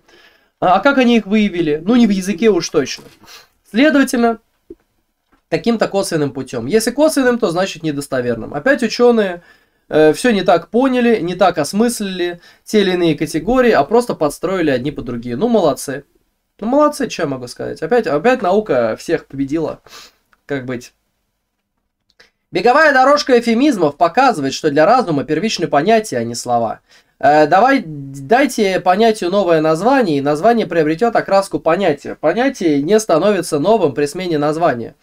И, а если обнаруживается, то, не, а если обновляется, то ненадолго. Название для меньшинств э, продолжит меняться до тех пор, пока у людей не будет сохраняться негативное к ним отношение. А когда изменения перестанут требоваться, мы поймем, что достигли настоящего взаимного уважения. Ну, окей, просто вот дорожка вот этой эфемизмов, она ничего не показывает в данной ситуации. Э, как вообще можно... Как вообще возможны понятия без слов? Понятия нередко из слов и состоят. Может быть, Пинкер имеет в виду не понятие, может быть, он имеет в виду означаемое, означаемое, типа бутылка. Бутылка будет, э, да, существовать вне зависимости от э, наличия у него понятия. Вот там вот, вот, вот, вот, вот, вот эта штука имеется в виду. Вот, вот оно. Ну да ладно. Не всякое означаемое есть понятие. Это не понятие. Вот это не понятие, соответственно. Если мы вообразим себе какой-то объем вот таких вот объектов, например, это еще все еще скорее не понятие. А вот как только мы сформулируем в словах, что бутылка это сосуд, в который наливается вода, там, например, там, или не вода, жидкость, это сосуд, в который можно налить жидкость, э, там, имеющий определенную форму, там, допустим, да, вот уже. У нас формируется понятие, но опять же в словах мы себе не можем представить понятие вне слов вообще. Не всякое означаемое в данном случае будет понятием, тоже важно заметить. Далее Пинкер разбирает понятие образа. К сожалению, он забыл, что совсем недавно критиковал постмодернистов за то, что у них э, мысли являются языком, а язык это их тюрьма. Теперь же он говорит, что постмодернисты считают, что мысли это образы, и они не правы. Чтобы подтвердить свою позицию, он просто рассказывает о ней по классике. То, что нам не по плечу, глава 13. Ура! Очевидно, что место, где мы прежде всего, пишет Пинкер, сталкиваемся с интуитивными способами мышления, это школа. Любая теория образования должна быть основана на теории человеческой природы. А в 20 веке это был, как правило, чистый э, э, лист или благородный дикарь. Да. Yeah. Традиционное образование по большей части опирается на чистый лист. Дети приходят в школу пустыми, их там наполняют знаниями, а потом они воспроизводят их на экзаменах. Критика традиционного образования э, называется это судно-сберегательной моделью. Теория чистого листа лежит в основе общепринятых представлений о том, что ранние школьные годы – это зона возможностей, период, когда социальные ценности формируются на всю жизнь. А, поэтому уже в младших классах детям внушают правильное отношение к окружающей среде, полу, сексуальности и этническому многообразию. Я, честно говоря, радикально сомневаюсь в том, что э, создатели школьных программ реально ориентируются на теорию чистого листа. Я даже скорее замечу, что большинство из педагогов о ней либо не слышали, либо слышали поверхностно из курсов философии и курсов по истории педагогики, где Лок, очевидно, должен присутствовать. Впрочем, суждение о том, что все школьное образование на, то, на этом основано, не смотрится правдоподобным. А Пинкер обвинял постмодернистов в теории заговора. Но именно сейчас он рассказывает нам о какой-то теории заговора, где все скрывают, что придерживаются некой теории чистого листа. Да и большинство не придерживается фа- по факту. Продолжаем. М-м, ой. Прогрессивные же образовательные практики, в свою очередь, основаны на благородном дикаре, как писал Нил в своей, э, оказавшей значительное влияние книге «Саммерхилл». Ребенок изначально умен и практичен. Если оставить его в покое, без всякого давления со стороны взрослого, он будет развиваться до тех пределов, до которых вообще способен развиваться. Нил и другие прогрессивные теоретики 1960-х и 70-х убеждали, что школы э, должны отказаться от экзаменов, классов, э, расписания и даже книг. Хотя так э, далеко зашли немногие. Это движение оставило свой след в образовательных методиках. Опять благородный дикарь. Если ребенок сам может заниматься, равно благородный дикарь, видимо. Пинкер, как только видит малейшую схожесть концепций, то сразу начинает говорить об их идентичности и родстве. Сама по себе идея такого образования, мне кажется, маловероятна, если учитывать те результаты, которые автор указывает. Но Пинкер продолжает удивлять своей, э, в общем-то, мега, мега, мега мозгом своим, продолжает нас, э, в общем, так или иначе удивлять. М -м, гений, гений. Понимание разума как сложной системы, пишет Пинкер, сформированной эволюцией, не согласуется с подобными взглядами. Когнитивные ученые Керри, Гарднер, Гири эм, в своих работах представили альтернативный подход. Ну, представили представили, молодцы. Типа, что могу сказать? Образование – это не записи на чистой табличке и не предоставление возможности способностям ребенка расцветать без всякого вмешательства. Скорее, образование – это технология, которая пытается компенсировать то, в чем человек мог, из... мозг, человеческий мозг изначально не успешен. Детям не нужно посещать школу, чтобы научиться ходить, говорить, узнавать объекты и запоминать индивидуальные особенности своих друзей. Хотя эти задачи намного сложнее, чем чтение, сложение и зазубривание исторических дат дети должны ходить в школу, чтобы обучаться письмо, арифметике и наукам, потому что эти области знаний и умений были изобретены слишком недавно для того, чтобы навыки овладения ими эволюционировали на уровне вида.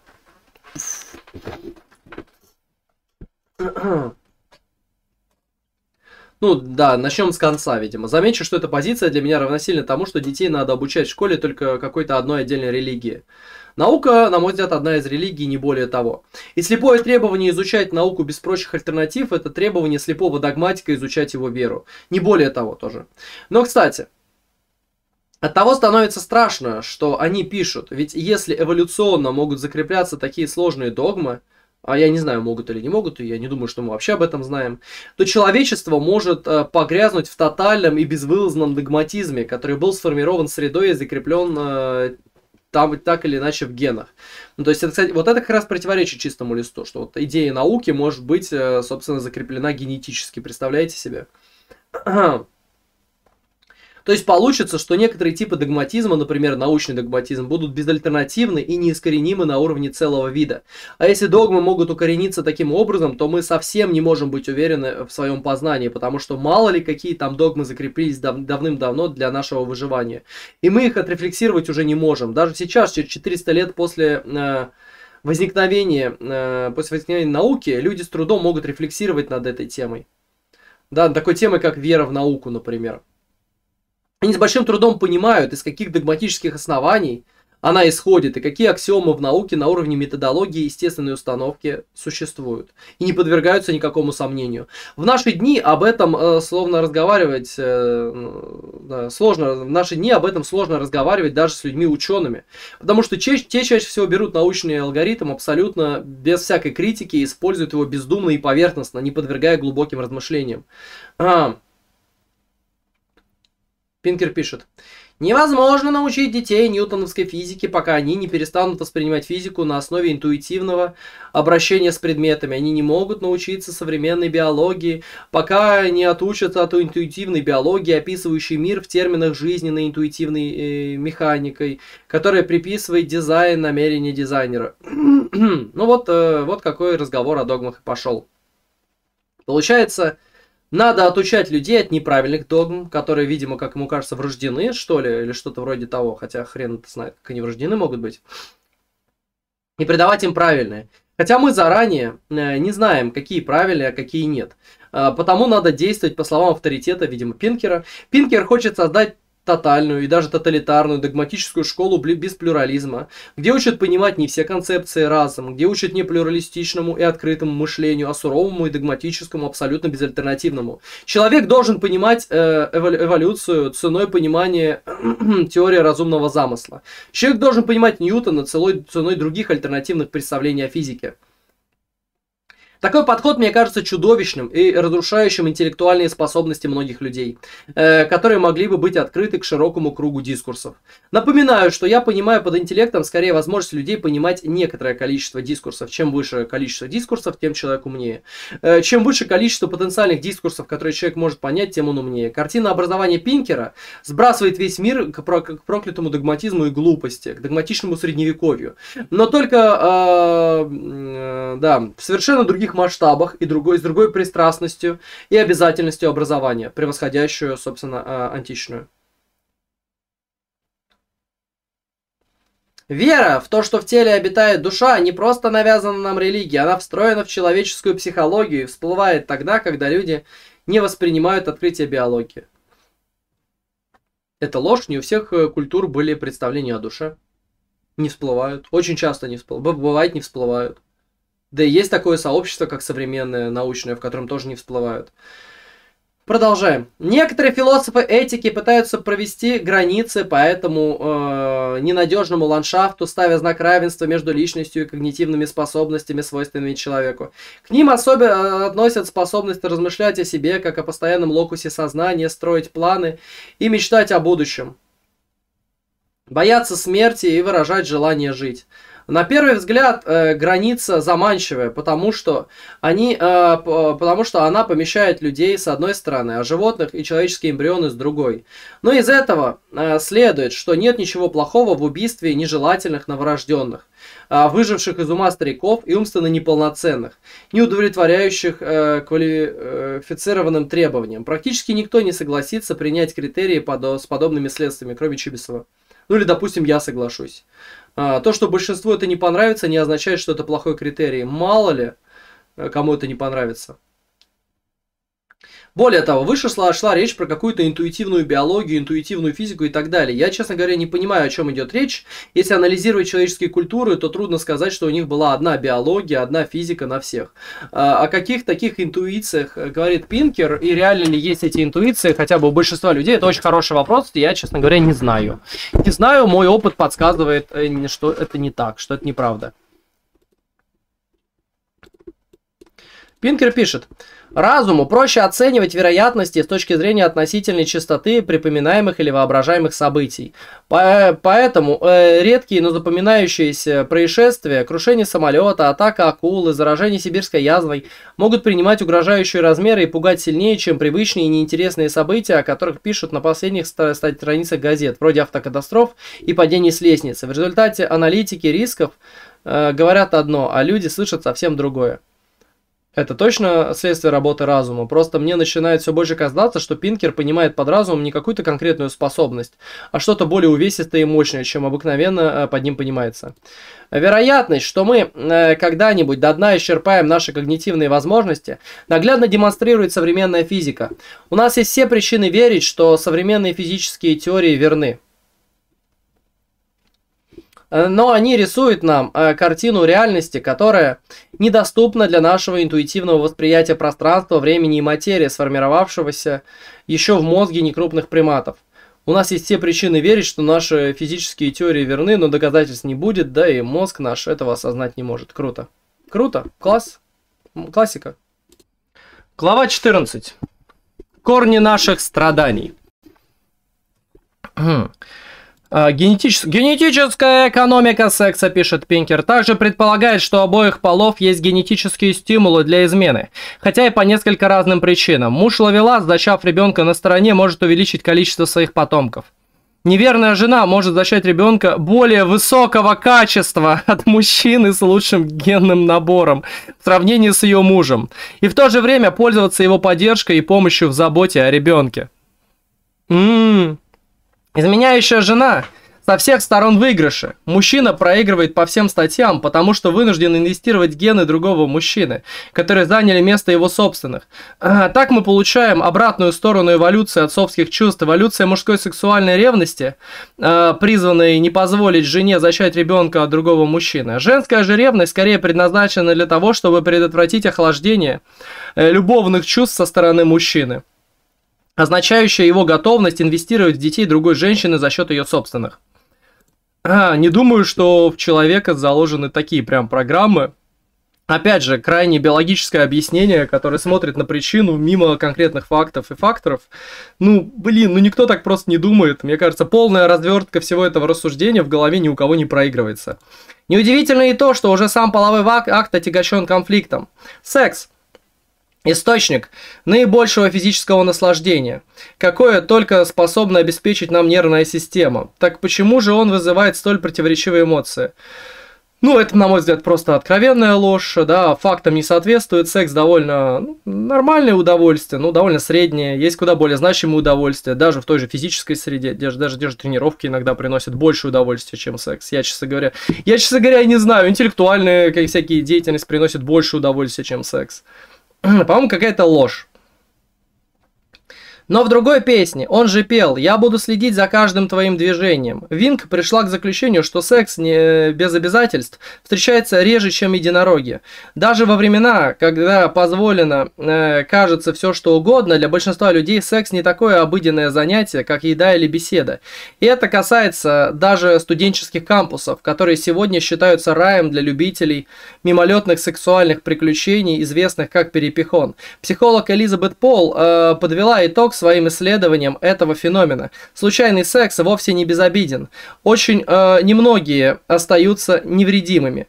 Причины так же глубоки, как и все в биологии. Однако из, опасений, из опасности секса ребенок. Одна из опасностей секса ребенок. А ребенок это не просто э, семифунтовый объект, но с эволюционной точки зрения смысл нашего существования. Да, с точки зрения эволюции, смысл нашего существования это кринж какой-то, да. Вся эта биология на уровне какого-то фрейдизма вещает сейчас э, по степени доказательности. Круто. Может быть, люди занимаются сексом без свидетелей по той же причине, по которой в голодные времена едят без свидетелей, чтобы не возбудить, э, возбуждать опасной зависти. А, теперь книга превратилась в набор вот э, таких вот э, вещей, типа с точки зрения эволюции, там вот этот прочий кринж упоминается. Доказательств, короче, не будет. Но все яйца нужно сбросить в одну корзину эволюционизма. А мы даже не уверены, что это так, но может быть, и это поддерживает наши эволюционные представления, этого уже достаточно, чтобы это упомянуть и на этом настаивать. Вот такая вот проблематика. да. Со строго рациональной точки зрения, то, что секс так отягощен э, эмоционально, парадокс, Потому что в эпоху контрацепции и женских прав все эти архаические сложности вроде бы не должны влиять на наши чувства. Нам следовало бы свободно любить э, тех, кто рядом, и секс как еда и общение не должен становиться темой слухов, музыки, книг, вульгарных шуток и сильных эмоций. То, что люди изводят себя дарвиновской экономикой э, младенцев, которых они больше не рожают, показывает, что у человеческой природы довольно длинные руки. А точно ли у природы, а не у общества? Точно не у культуры? Просто тут э, так сложно разобраться реально, да, Пинкер просто берет и утверждает, что уже все известно, и это, по его мнению, совпадает с эволюционными представлениями. Но также это совпадает с религиозными представлениями, потому что Бог, ну, просто взял, запретил прелюбодеяние и так далее. И у нас поэтому вот сложно с прелюбодеянием. Просто перечисление фактов, которые не противоречат той или иной теории, не являются ее доказательством. Это, видимо, один из неусвоенных Пинкеров уроков, к сожалению. Лицемерное животное, следующая глава. В предыдущей главе показано, что эти страхи не оправданы. Ничто не мешает безбожному и аморальному процессу естественного отбора создать разумный социальный вид э, с развитым нравственным чувством. Да, действительно не мешает. Э, к сожалению, такой вид не появился, а появился человек. Ну, блин, нет, это реально по факту. Естественный отбор создать разумный вид с развитым нравственным чувством? Нет, помешало. К сожалению, появился человек. Действительно. К сожалению, э, такого вида не было, который описывает Пинкер. Например, запрет на убийство и изнасилование – это не дело вкуса или моды, а безусловное и универсальное предписание. Ха-ха-ха-ха-ха, да, офигеть. Люди чувствуют, что те, кто совершает аморальные поступки, должны быть наказаны. И не только потому, что это правильно, причинять вред людям, нарушившим моральные законы, но и потому, что неправильно не наказывать их, позволить, чтобы поступок сошел им с рук. Тем временем люди в разных культурах, в разные эпохи, в разных социальных классах вполне допускали убийство, а отношения между женщинами и мужчинами в принципе подразумевали насильственный характер. Дурачок Пинкер рассказывает нам об универсальном моральном чувстве человека, подобно Канту. Э, но этого чувства фактически просто не существует. Да и Кант, очевидно, заблуждался. Но Кант, он имел право на это заблуждение. Давайте честно, да. Кант имел право на это заблуждение. Кант жил достаточно давно, соответственно. Возможно, во времена Канта не было так разра... не была разработана... Ну, вообще, вообще, в смысле, возможно. Во времена Канта не была так разработана история, культурология, религия языковедение и многие другие дисциплины. Кант не мог прочитать о том, что у разных людей в разных культурах разный опыт, соответственно. Нет, мог, конечно, если бы сильно постарался. В принципе, книжки-то были. В принципе, какие-то источники можно было достать и проанализировать, но это были нетривиальные источники, так скажем. А, вот. Важно заметить, что это мания-фантазия, которую нельзя проверить, про это нравственное чувство. Понимаете, в чем дело? И проблема заключается в том, что она не фальсифицируема. Да, вот фальсифицировать ее, правда, запросто можно, да. И это за нас уже давно сделали наши предки. Да, и как вообще могут быть доступны войны в мире, где убийство считается моральным всеми здоровыми людьми? Войны шли на протяжении всего становления нашего человеческого мира. И даже в наши дни от них человечество не избавилось. Какое-то странное внутреннее моральное чувство, которое запрещает убивать, но не на войне. Мне кажется, Пинкер мог сделать такие неверные выводы только на основании исследований, если они были современного общества, причем, может, их и не было, э, которое не является репрезентативной выборкой в данном вопросе. В целом, современный человек э, в общей массе не предрасположен к войне, и большинство не представляет себе, что такое убийство, и не хочет э, этот данный человек современный быть убит. А, только вот несколько поколений назад предки этого избалованного человека, возможно, убивали или хотя бы смотрели на публичные казни и, вероятно, наслаждались происходящим происходящим. Неожиданно. Вот как вам такое? А, Опять же, в оправдании Канта действительно можно сказать, ну, Кант не знал, э, вот, вот прорвались враги, как говорится. А, ну, что делать? Как? Как это может быть? Ну, вот просто, просто не, не прочитал нужные тексты, и тогда они были не так распространены. А Пинкер, Пинкер, ну, возьми, почитай. Почитай, какие морали и убеждения у разных людей в разные культуры, в разные эпохи были, перед тем, как что-то это говорить. Ну, утверждение о том, что у всех людей одинаковое моральное отношение к убийству и изнасилованию, ну, а, это же, это пси, это, блин, шизофрения, по-моему. Я, я, просто, я просто не понимаю, ну как это можно доказывать, если это просто не так? Ну или тогда подавляющее большинство наших предков были больными. А если они были больными, а что мы не больные тогда? Как это вообще происходит? Почему буквально там за два столетия нормы меняются с одних на другие колоссально? Как это вообще объяснит какой-нибудь Пинкер? Да никак не объяснит. Просто плевать Пинкеру. Плевать Пинкеру на всю эту культурологию, историю, религиоведение. Причем можно понять, почему Кант не шарил. Кант жил в совершенно другом обществе. Окей, не вопрос. Но сейчас для преодоления релятивизма подобного, да, который сейчас вот морального релятивизма, для преодоления морального релятивизма надо затратить достаточно много усилий. Потому что надо объяснить очень много фактов. То есть, да, вы считаете, что ваши моральные предписания, например, христианские, например, христианские, являются, собственно, моральными фактами, а общие для всех нормальных людей. Теперь надо объяснять, а как получилось так, что в подавляющем большинстве обществ христианская мораль не работает. Вот. Причем можно рассуждать по разным аспектам. Ну, убийство плюс-минус в рамках одного класса, в рамках одного такого своего сообщества, наверное, они запрещены. Но, например, кто-то выше по классу может убить того, кто ниже по классу, при этом не испытывая никаких моральных угрызений совести. Более того, если этот тот, кто выше по классу, будет убивать того, кто ниже по классу, даже те, кто ниже по классу, может быть, даже не сильно будут чувствовать при этом какое-то, ну, чувство аморальности. Но убили и убили, бывает. Бывает, такое происходит, да. Но виноват сам, видимо, если его убили. Хозяин решил, ну, хозяин убил. То есть за казни, за убийство, за приказы вот эти вот людей обычно не называли аморальными, ужасными. Смотря сколько казней, конечно, было. Конечно, да, если речь идет о просто тотальном геноциде, то, наверное, уже речь немножко по-другому ставится. Но само по себе убийство, ну, оно не было на 100% табуировано. И тут вопрос обычно, да, в классах заключался. Человек своего класса чаще всего ты убить просто так не мог. А вот не просто так мог. Например, дуэль. Вообще практика дуэлей, которая в России была не так давно. Да, их пытались запретить эти дуэли, ну, по вполне рациональным причинам, не потому что убивать плохо, а потому что вы лишаетесь, во-первых, очень хороших кадров, то есть все эти высокообразованные дворяне и бояре и все остальные, это очень важные люди для своего общества. Их и так немного, их и так, блин, немного. Вот у вас офицеры, вот у вас генералы, выполняющие важные функции, вот у вас там поэты, писатели, еще прочие замечательные ребята, образованные, замечательные, на них общество потратило кучу усилий, чтобы таких их сделать. А эти придурки друг друга перестреливают неожиданно. Ну, понятно почему, да, это было запрещено, и не только с точки зрения моральных ограничений. Но при этом люди, они нормально к этому относились, участвовали в дуэлях, убивали. Да, иногда кару какую-то им за это давали, но это просто было принято. Э, можно с легкостью сказать, я не люблю брокколи. Э, но ты ешь, если хочешь, мне все равно. Но никто не скажет, мне не нравится убийство, но если хочешь убить э, кого-нибудь, я не возражаю. Ну, буддисты могли бы так сказать, например, что нет. Наше нравственное чувство разрешает, агресси... разрешает агрессию против других как способ предотвратить аморальные действия и наказать за них. Так, наше нравственное чувство разрешает агрессию против других как способ предотвратить аморальные действия и наказать за них. А, ну то есть, если с оправданием, то это уже тупо другое дело. Механизмы работают так. А, а, О, он хотел на меня напасть! И ножом его убить. Мое почтение. Шикарно.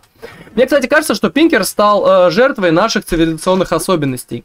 Наша мораль формировалась на догмах Платона и христианства, а также наши представления о справедливости, ну, тоже так, там же формировались. Мне видится, что Платон и христиане победили в нашей культуре относительно случайно, то есть не было никакой биологической подложки, которая э, помогла бы им это сделать.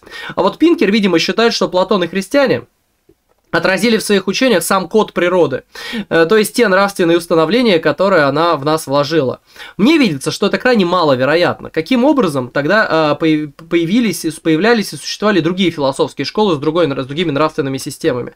Почему некоторые из них э, закрепились в веках? Почему подходы были столь противоположны и разнообразны? Почему целые общества противоречили подобной морали? Ответов, конечно, не будет от Пинкера, ибо ну, ну их эти ответы, надо, надо же читать, надо размышлять, надо, да, ну нафиг. Нравственное чувство – это устройство точно такое же, как и стереотипическое зрение или интуитивные представления о числах, которых тоже нет. Это совокупность нейронных сетей, собранная наспех из более старых частей мозга, доставшихся нам э, в наследство от приматов, и приспособленная к этой работе естественным отбором. Чем мы заходим дальше, тем попадаем во все больший и больший мир научной сказки или научного мифа. Все, что можно притянуть к биологии, теперь будет к ней притягиваться. Например, нравственное чувство, относительно которого у нас даже оснований нет полагать, что оно есть. Но оно теперь есть в биологии, считайте. Ну ладно. В культуре принято, что есть, от Канта, например, того же. А значит, надо вписать это в биологию. Э, также непонятно, что за интуитивные представления о числах. Пинкер ранее рассказывал э, разные интуитивные представления, но так и не смог э, показать, что они реально есть и что они интуитивные конкретно. Короче, это предположение, это продолжение формулировки научного мифа, где в шизофреническом потоке перемешиваются разные образы и понятия из культуры. Они помещаются в науку и на скорую руку обретают наукообразную форму. Печально. Ой. А вот и история пошла. Джулия и Марк – брат и сестра, пишет Пинкер. На летних каникулах в колледже они вместе путешествуют по Франции. Однажды ночью они были одни в палатке на пляже. Они решили, что будет интересно и забавно попробовать заняться любовью. По крайней мере, это будет новый опыт для каждого из них. Джулия уже принимала противозачаточные таблетки, но Марк использовал и презерватив тоже, просто для безопасности. Им обоим понравилось. Но они решили никогда больше этого не делать. Они сохранили эту ночь э, как свой особый секрет, э, что сделал их еще ближе друг к другу. Что вы думаете по этому поводу? А, были ли э, нормально для них заниматься любовью, да? Да, вообще не вопрос, э, плевать. А. Психолог э, Хайдет и его э, коллеги рассказывали эту историю множеству людей. Большинство из них моментально заявляли, то, что сделали Марк и Джулия, было неправильно. И затем э, начинали подыскивать причины почему. Они говорили об опасности близкородственного скрещивания, э, но им напомнили, что брат и сестра использовали два вида контрацепции. Они предполагали, что Джули и Марк должны быть э, эмоционально травмированы, но в, то, в истории ясно сказано, что этого не случилось. Они доказывали, что это действие могло оскорбить общество, но затем вспомнили, что пара, решила держать это в секрете. Они считали, что это может навредить будущим отношениям, но признали, что Джули и Марк договорились никогда не делать этого снова. В итоге итоге многие респонденты э, признавались, я не знаю, я не могу объяснить почему, но я просто знаю, что это неправильно. И опять пинкеровская шизофрения. Какая-то показная история, она не говорит, что у нас есть врожденное нравственное чувство. Если это его лучший пример, то мы имеем дело с малоумным и сумасшедшим человеком. Какой-то опрашиваемый не смог ответить, почему это плохо. Лол, значит это биология, значит это врождено. Да ну. Тут можно усматривать э, многочисленные культурные влияния. Кроме того, я не вполне уверен, что люди могут осознавать э, кровные связи друг с другом на биологическом уровне. Само понятие брат и сестра скорее социальное. Мы не ощущаем братьев и сестер, мы узнаем о них э, в процессе воспитания. Кроме того, форму отношения к ним мы тоже вырабатываем в процессе воспитания. Мы не можем отыскать братьев и сестер в мире, которые нас постоянно, э, да, в котором нас постоянно разлучают. Мы не сможем просто, о, а, вот мой брат, я нашел брата, у меня чутье кровавое есть. Нет. А, то есть мы братьев и сестер распознаем чисто социально, неожиданно. Я не знаю, у нас нет биологических датчиков опознания братьев и сестер. Кроме того, инцест это обычное дело в деревнях и даже среди знатных семей прошлого. Без определенной культуры у нас нет никаких механизмов, которые бы противостояли инцесту. Без культуры, табуирующую инцест, люди им занимаются. Это факт. Эм, э, два. Ну, то есть в деревнях, например, или, например, вот в таких вот закрытых аристократических сообществах. Два. Если людей воспитывать так, что инцест допустим, то он будет допустим. Более того, вероятно, братья и сестры очень часто будут э, спать друг с другом, потому что они самые близкие друг другу люди одного возраста, плюс-минус, да, которые проводят в одном помещении, ну, в одном доме, например, достаточно много времени. Это, конечно, все еще не факт, но это можно попробовать проверить. Я скорее вот на это ставлю, чем на пинкеровскую врожденную идею антиинцеста. Скорее всего, при снятии табу с инцеста, и тем более э, с его поощрения, и тем более с его поощрением. Э, в жизни каждого молодого человека одним из первых сексуальных э, контактов будет контакт с сестрой или братом. Не исключая двоюродных и троюродных. Почти наверняка. То есть я, я готов просто поспорить, забиться, забиться против науки, что в случае отмены табу, реально отменяем табу. Все, инцест, заебись. Давайте воспитывать, давайте проведем эксперимент. Шутка. Шутка, да, мы не сможем. Это аморально проводить такой эксперимент. Но давайте представим себе такой мыслительный эксперимент, э, в котором принимают участие с самого раннего возраста дети, братья и сестры. И мы им даже заранее будем говорить, а вы брат и сестра, вы от одной матери. А, и ничего не будем говорить им про инцест. И даже наоборот будем показывать им фильмы, где инцест допустим, да, например, ну, может, не с самого детства, а с подросткового возраста, допустим, уже, да, то есть, когда им уже можно будет смотреть такую порнушку, так скажем. Будем показывать фильмы, где инцест показывается с хорошей стороны. Например, о, это не просто, и где, где инцест не будет осуждаться. То есть, в их мире просто не будет осуждения инцеста, и будет некое поощрение инцеста. Вопрос, при такой ситуации, когда вроде бы все склоняет к инцесту, и когда вот брат и сестра в одном одном доме проживают вместе, а, будут ли они заниматься сексом, да, займутся ли они сексом хотя бы один раз, и что они будут после этого испытывать. Но мои ответы здесь довольно простые. Ничего. Они будут испытывать, сексом они займутся. С очень большой вероятностью. А, наверное. Я, я могу в этом сомневаться, но, наверное, это так. Я делаю ставку на это. Соответственно. А, ну и что? Ну и что дальше? Вот. Мне кажется, Пинкер категорически переоценивает влияние природы, что бы это ни значило, человека на его поведение. Как минимум, мы хорошо знаем, что человек не нуждается в сложных инстинктах, потому что без них ему оказывается в целом лучше, он более адаптивен. Лучше э, уметь своим умом реагировать на обстоятельства, чем полагаться на инстинкт, который может оказаться бесполезным и даже смертельным в тех или иных обстоятельствах. Пинкер же рисует картины еще более мрачнее, чем инстинкты. Он буквально в этой главе начал рассказывать о врожденных идеях, которые действительно уже противоречат э, теории теории чистого разума. Он буквально говорит о врожденном нравственном чувстве и чувстве справедливости. Хотя и то, и другое э, недавнее изобретение человечества. Притом нравственность будет постарше справедливости. Также важно понять, что карать и наказывать можно не из чувства справедливости, а из желания уберечь себя от последствий чужой жестокости. Например, так и поступают радикальные феминистки. Они хотят э, сажать мужчин за малейшие проступки на очень большие сроки, но не потому, что э, этого требует реальная справедливость, а потому что они сознают, что мужчины для них потенциально опасны. Вообще у людей выработано множество разных ментальных, культурных механизмов. Не знаю, насколько они, собственно, биологические, но выработано много, и они во многом культурные, которые позволяют поддерживать одни и те же практики. И в этом плане человек в этих областях совсем не нуждается в биологии. И опять же, да, если мы исследуем, да, как говорил Уильям Окам, не умножать сущности сверх необходимого необходимого. Биологи и биологи и биологизаторы часто без должных доказательств пытаются навязать окружающим свои нелепые догадки, часто не имея на руках достаточных доказательств. Они начинают использовать свои эмпирические статьи, но при прочтении статей оказывается, что они не так э, использовали те или иные слова, или что сделали не единственно возможный вывод, или вообще провели эксперимент неправильно. Но э, как бы умножить объяснительные сущности своей биологии они всегда э, все равно неистово пытаются и рады. В чем проблема заключается? Да? Вот у нас есть культурологическое объяснение огромного количества явлений.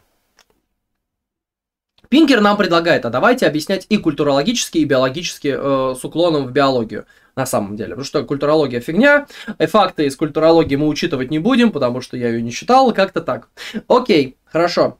Но тогда мы удваиваем сущности. Более того, когда Пинкер не предлагает нам достаточных доказательств для того, чтобы принять в данном вопросе биологию, мы просто умножаем сущности без необходимости. Мы просто умножаем сущности. То есть культура здесь является более базовой. Во-первых, потому что она раньше начала исследовать тот или иной предмет. А во-вторых, она является простой объяснительной моделью для тех или иных явлений. А, кстати, генетический детерминизм это тоже очень простая модель в этом плане. То есть стопроцентная, ну или очень большая, более, очень многопроцентная вот эта вот культурологическая схема против абсолютного чистого генетического детерминизма, они в принципе по уровню простоты равны, но генетический детерминизм, на мой взгляд, критики вообще не выдерживает. То есть, ну, он просто сразу распадается, просто потому что очевидно, что какие-то культурные процессы, среда как-то влияют. Собственно, слишком это очевидно, чтобы, ну, вот вообще проигнорировать игнорировать э, влияние так называемой культуры.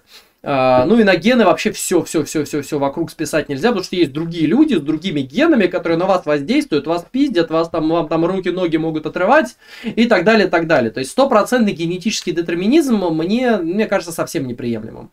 Uh, ну, нет, стопроцентная культурология тоже смотрится категорически странно, просто ввиду того, что мях, э, но менее странно. И тут вопрос, да, к чему мы будем склоняться? Ближе к детерминизму генетическому или культурологическому? Детерминизму тоже у нас чаще всего получается. Подход с точки зрения культурологии, на мой взгляд, нам обеспечивает соблюдение бритволкома. Ну, хорошо это или плохо, я вот не знаю, я не любитель бритволкома, но вот обеспечивает, по крайней мере. А ученые, наверное, должны заботиться о том, чтобы их суждения э, соответствовали бритвелкому. Продолжаем. Эти убеждения имеют мало чего общего с моральными суждениями, которые можно обосновать с точки зрения принесенного ими счастья или страдания. Они продукт нейробиологического эволюционного устройства, которое мы называем нравственным чувством. Кто мы? Ты тут один сидишь, Пинкер. А, вообще неудивительно, что биологи продолжают в исследованиях своих предков, а, да, исследования своих предков в нашей культуре, используют их язык, не всегда его правильно понимая. Отсюда и происходят множественные ошибки. Например, человеку приписывается какое-то нравственное чувство. Некоторое время назад Хайдетте свел воедино данные о естественной истории эмоций, а, составляющих нравственное чувство. Они делятся на четыре основных семейства, как раз э, такие, э, как можно было ожидать, учитывая теорию Триверса о взаимном альтруизме и результаты компьютерного моделирования эволюции сотрудничества. Эмоции э, порицания других – презрение, гнев и отвращение а, побуждают наказывать обманщиков. Эмоции восхваления других, благодарность и эмоции, которые можно называть поклонением, восхищением и признательностью, побуждают э, вознаграждать альтруистов. Эмоции, сопереживание другим, сочувствие, сострадание и эмпатия побуждают э, помогать нуждающимся. И, наконец, эмоции, направленные на себя, вины, вина, стыд и смущение, побуждают избегать обмана, и исправлять его последствия. Важно помнить, что у нас сейчас имеется тренд и мода на науку и научные убеждения, а потому убеждения, которые соотносятся с научным мифом, оказываются более предпочтительны в любых сообществах, по большей части, да, в любых там академических сообществах. Мы имеем дело с очередной недоказанной классификацией, которая, как думает Пинкер, что-то нам додоказывает. Очень жалко, что многим людям не требуется никаких доказательств, чтобы поверить в написанное. Пинкер буквально работает по схеме, есть авторитетный человек X, который пишет что-то, что соотносится с биологией. Все, этого достаточно, больше больше не надо. Вы должны это принять, потому что человек авторитетный. Наряду с этими э, видами эмоций мы обнаруживаем три области морали, каждой из которых моральные суждения формулируются по-своему. Этика независимости относится к индивидуальным интересам и правилам. В качестве главной добродетели здесь выступает справедливость. Этика независимости – самая суть морали, как ее понимают неверующие образованные э, представители западной культуры. Этика общности свойственна обычаям социальной группы. Она включает в себя ценности вроде долга, уважения, соблюдения договоренностей и почтение к иерархии. Этика божественности касается чувства э, высшей чистоты и святости, которое противопоставляется чувству загрязнения и осквернения. А, а как тогда может быть, что есть целые популяции, где этика божественности не представлена? А почему нет у всех людей вообще, э, почему у всех, э, почему не у всех людей есть представление о справедливости? Например, у меня нет представления о справедливости. Почему многим свойственно уходить от этики общности? Я, например, не чувствую ни одну из этих этик в себе и не руководствуюсь ни одной. Для меня все рассуждения Пинкера выглядят как научные манифантазии, которые выдумывают ученые, исходя из своих ошибок и предвзято составленных опытов, проверяющих их предрассудки. И я знаю множество людей, которые в этом со мной похожи. Пинкер рассказывает о результатах экспериментов, а я не могу э, применить их на себя. То есть я являюсь фальсификатом, я являюсь исключением из правил, это плохо. Ну, для меня лично это выглядит довольно плохо. Не э, на многих других людях, понимаете, то есть я, я здесь не один, я не просто болен, получается, да, например, я не просто социопат, и я знаю еще много, видимо, других социопатов. Вот такая вот история. А, вот не на ту или иную картину культурного мира, которую имею. Некоторые знания в культурологии, религиоведении, истории э, и философии, э, то есть реальный опыт поколений, который длился тысячелетиями, противоречат тем открытиям и результатам опытов, о которых рассказывает Пинкер. А именно поэтому я решаю, что Пинкер глубоко заблуждается, как и многие биологи, нейроученые, когнитивисты и так далее. Может быть, они не заблуждаются, но я здесь скорее склонен полагать, что это так. Они не знают слишком многого, их выборка неполна и крайне ограничена. А потому их вывод э, оказывается неверным скорее всего, да, и противоречащие простейшим фактам о мире. Некоторые из которых мы знаем со школы. Они торопят, они, в смысле, это биологи, э, торопятся сделать ультимативный вывод о тотальной биологизации, потому что только эта призма рассмотрения окружающего мира им и доступна. Еще одна странная особенность моральных эмоций – то, что их э, можно включать и выключать, словно тумблер – Такие переключения в уме называются морализацией и аморализацией, и некоторое время назад их стали изучать в лаборатории Пола Розина. Суть процесса э, смена образа мыслей, который судит о поведении с точки зрения предпочтений, на образ мыслей, который судит о поведении с точки зрения ценностей. Ой, как по мне, мешанина разнородных опытов указывает на очень разные выводы. А Пинкер с большим трудом пытается все рационализировать в рамках одной корзины. Карти, картины или корзины, вообще не важно, картины мира. И у него не получается. О каком-то врожденном нравственном чувстве может идти речь, если его можно легко включать и выключать, а его можно вообще навсегда выключить. Ну, получается, может, я его выключил вообще когда-то и все включить не могу. Я, я не знаю. И тем более, если от него можно избавиться – Люди меняют моральные убеждения, это факт. Врожденное разве может включаться и выключаться или меняться прям полностью? А также меняться на что-то другое. Ну, даже если включать и выключать можно, то, вероятно, э, это не очень сходится с нравственным чувством. Так что врожденное нравственное чувство, как оно вообще может меняться? Оно не такое же врожденное получается. Короче, как-то сложно. Проблема заключается в том, что Пинкер делает громкие и удобные для себя выводы из тех опытов, которые не обязуют делать такие выводы. Можно было бы избежать множества ошибок, если бы ученые так не подходили к познанию и не делали поспешных натуралистических выводов. Но так работают все дисциплины. Социология без проблем опишет весь мир в своих терминах, культурология в своих, религиоведение при желании может описать в своих терминах многочисленные человеческие общности, включая науку. Так почему бы биологии не сделать то же самое? Тем более биология привилегирована в глазах обывателя, и обычный человек относится к ней крайне некритично. Так вот, э, разница чаще всего в том и состоит, что представители социологии, культурологии и религиоведения осознают, что они смотрят на мир через некую методологическую призму, от которой во многом зависит объект исследования и полученные выводы. Биологи и биологизаторы, их поклонники, чаще всего этого не осознают и ставят себя выше прочих познавательной иерархии, буквально заявляя, что за ними будет э, последнее слово во всех вопросах от морали до построения общества. Ибо все это скрывается в биологии. И вот они, разные биологи, начинают исследовать проблему, заменять общеупотребимые термины, создавать свои абстрактные представления по тому или иному вопросу, э, допускать многочисленные ошибки и учитывать не, не учитывать большую часть фактов в той или иной области, в тех или иных дисциплинах. И научная картина мира уже перекидывается на сферы, смеженные социологией, культурологией, религиоведением. Это обычное дело в современном мире, и для биологов это все вполне легально, позволяется, потому что у них общественные привилегии в области познания. Ведь все люди знают, что глупые гуманитарии, в скобочках социологи, культурологи, философы, религиоведы, просто пустозвоны, а мудрейшие представители точных естественных наук наконец-то покажут нам, а в чем все это время заблуждались тупые гуманитарии. Технарям же для этого не нужно фактов, и терминов знать не нужно. Они все сами придумают и опыты поставят. И вот уже любовь это какой-то гормон, а нравственность врождена неожиданно. Более того, в этой главе Пинкер апеллирует мнению даже не столько биологов, сколько психологов, а, подвергшихся биологизаторству головного мозга. Вот и все. В другом исследовании, пишет Пинкер, людей спрашивали об э, администраторе больницы, который должен решить, на что потратить 1 миллион. На пересадку печени больному ребенку или на нужды медицинского учреждения, соответственно. И участники опроса не только хотели наказать администратора, если он потратил деньги на больницу, они хотели наказать его еще и в том случае, если он слишком долго думал, прежде чем принять решение в пользу ребенка. Ну, это говорит не в пользу интеллектуальных способностей людей, в пользу больницы, очевидно. Одна больница может вылечить огромное количество людей. А, ребенок, ну, типа, пока. Пока, малыш, э, тебе здесь не место, сорян. Абсолютно неиронично. Я не знаю, у кого может быть такое внутреннее, э, собственно, чувство. А, э, я, я просто не понимаю. Я просто не понимаю, кто реально может так думать. Это прям идиотизм же.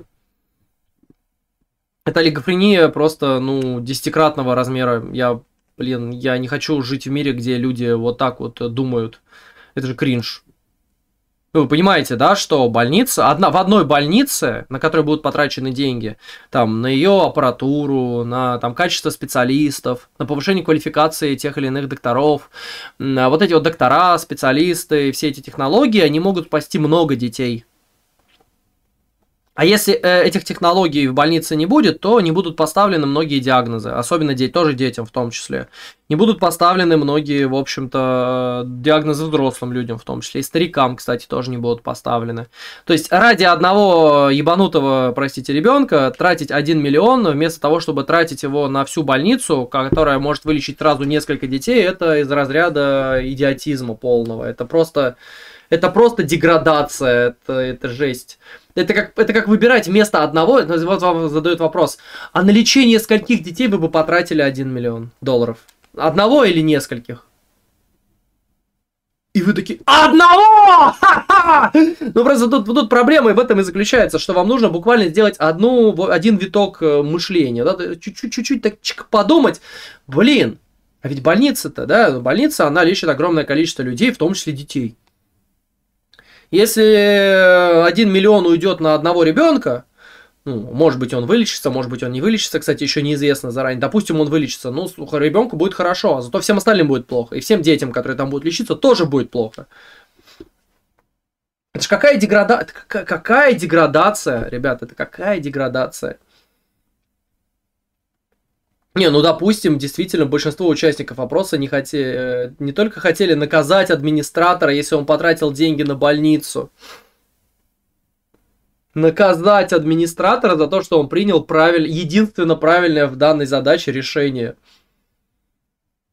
Я бы наказал э, администратора, если он принял бы противоположное решение. Понимаете, в чем дело?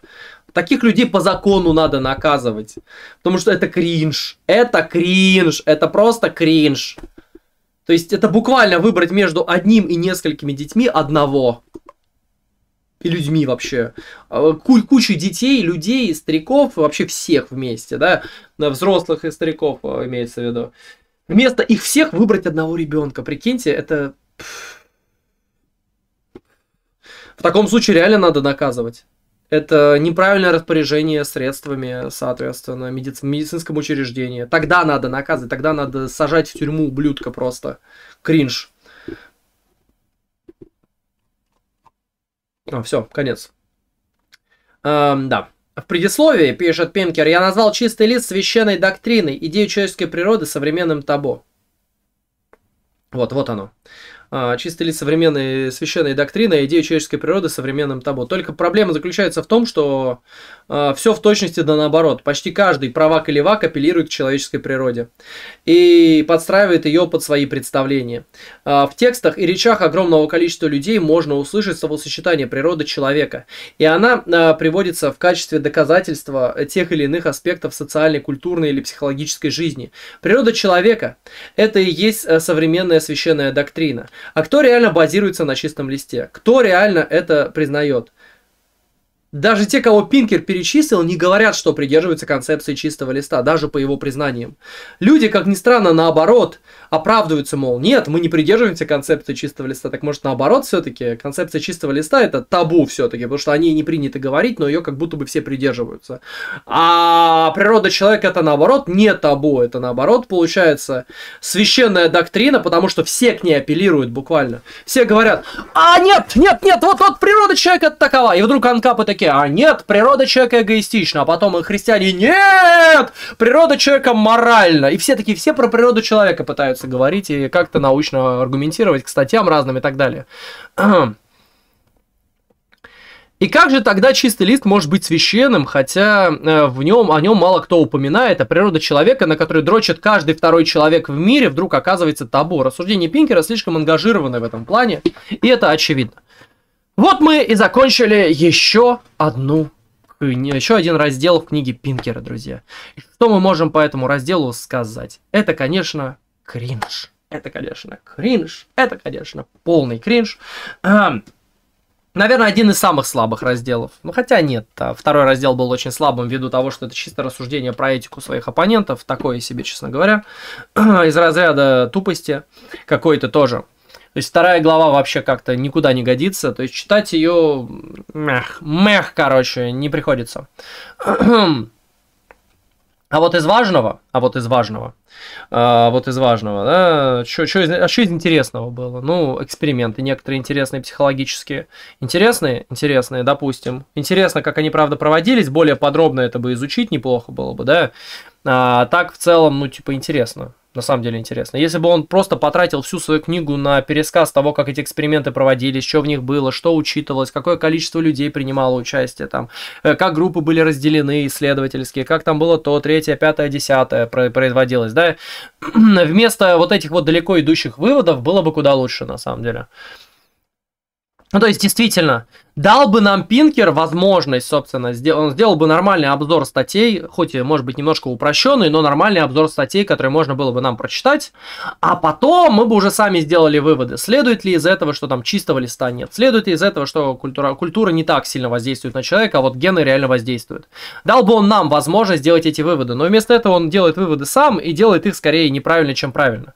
Но с другой стороны, с другой стороны, не до конца понятно, насколько глубоко эти статьи проработаны, потому что, ну, объективно, я все эти статьи читать тоже не буду. Я уже перед э, началом разбора критики вот этого чистого листа, я прочитал Лока. Мне уже этого достаточно, на самом деле. Я подготовился к этому материалу через философию, да, то есть я в основном опровергаю философские заходы. Если бы я еще и научные опровергал, ну, мне кажется, там вообще мега разнос получился бы, и на самом деле этого не требуется. Ну и от Пинкера это тоже неплохо было бы, чтобы он э, приводил не просто статьи какие-то рандомные, рандомные материалы экспериментов, а подробно их описывал, говорил, как они производились вот в точности, а не то, как вот он перечислил э, всю эту проблематику с близнецами, например, или еще с кем-нибудь. Было бы куда лучше, если бы Пинкер постарался с подбором материалов, на мой взгляд. Да, он, он материалы и так подобрал, но если бы он еще не просто их подобрал, если бы он их нормально объяснил, разъяснил и сказал, почему по-другому, например, мыслить, исходя из этих данных, нельзя, это был бы совершенно другой разговор. Но можно. Но, к сожалению, можно, и Пинкер заблуждается, исходя из своих же собственных слов в данной книжке. Вот. Сама по себе книга оказывается крайне неубедительной и содержит в себе множество разных ошибок. И зря Пинкер в философию полез. Даже иногда философы зря в философию лезут разную. Так что тут такое. То есть, да, даже ребята, которые философией занимаются, очень часто не могут понимать э, концепты э, коллег, так скажем. Да, то есть не всем быть кантианцами, не всем быть перипатетиками, не всем быть платониками, не всем быть скептиками. То есть тут как-то такое взаимное поверхностное понимание даже у философов присутствует. не всем быть постмодернистами. Тоже, да? То есть мы обратим внимание, что я, например, я признаю, что я, например, небольшой специалист там в Канте, Небольшой специалист, я не, не специалист в Локи, я просто открыл его книжку, посмотрел, процитировал, узнал что-то. Я вообще небольшой специалист во многих направлениях философии, кроме, ну, например, скептицизма. Скептицизм вот эта тема, соответственно. Здесь я много чего начитал и, в принципе, могу отличить кринж от не кринжа, соответственно, да. Что я еще могу, могу рассказать? Про некоторые античные, в общем-то, учения тоже могу многое рассказать, соответственно, в них нормально разбираюсь. Есть отдельные философы более современные, которые тоже являются частью моей специализации, типа там, не знаю, Ницше какого-нибудь. И то я Ницше знаю скорее несколько хуже, чем Ежи знает Ницше. Имеется в виду. А, ну, просто потому, что Ницше мне вполне импонировал на протяжении долгого времени. Я прочитал все его книжки и по нескольку раз. И, в принципе, много что я помню. Правда, я читал Ницше лет 10 назад полностью. Да, полностью несколько раз я его перечитывал, несколько лет, 10 лет назад где-то, чтобы это тоже важно понимать.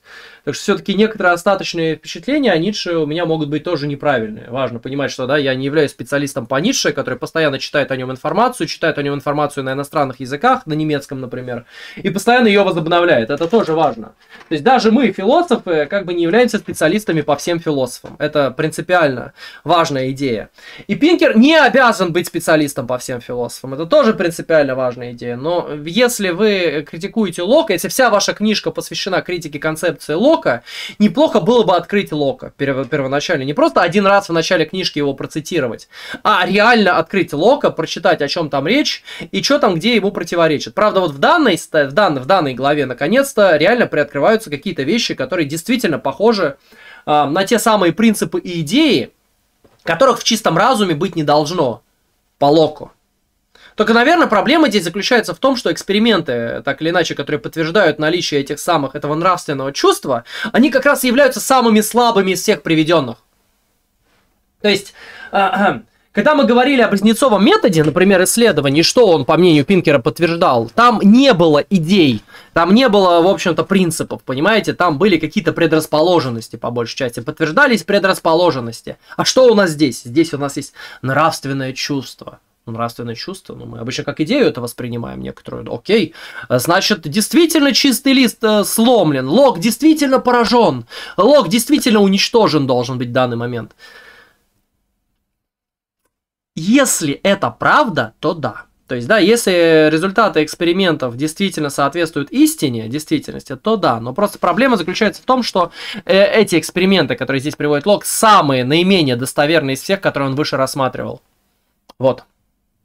Здесь реально есть чем поспорить. Здесь реально просто есть чем поспорить. Они вообще совершенно, совершенно не доказывают наличие нравственного чувства у человека. И Пинкеру просто приходится потом маня фантазии научные придумывать и объяснять, как, как это биологически, вот это все обусловлено и так далее, так далее, так далее. То есть э, в этом и заключается проблема.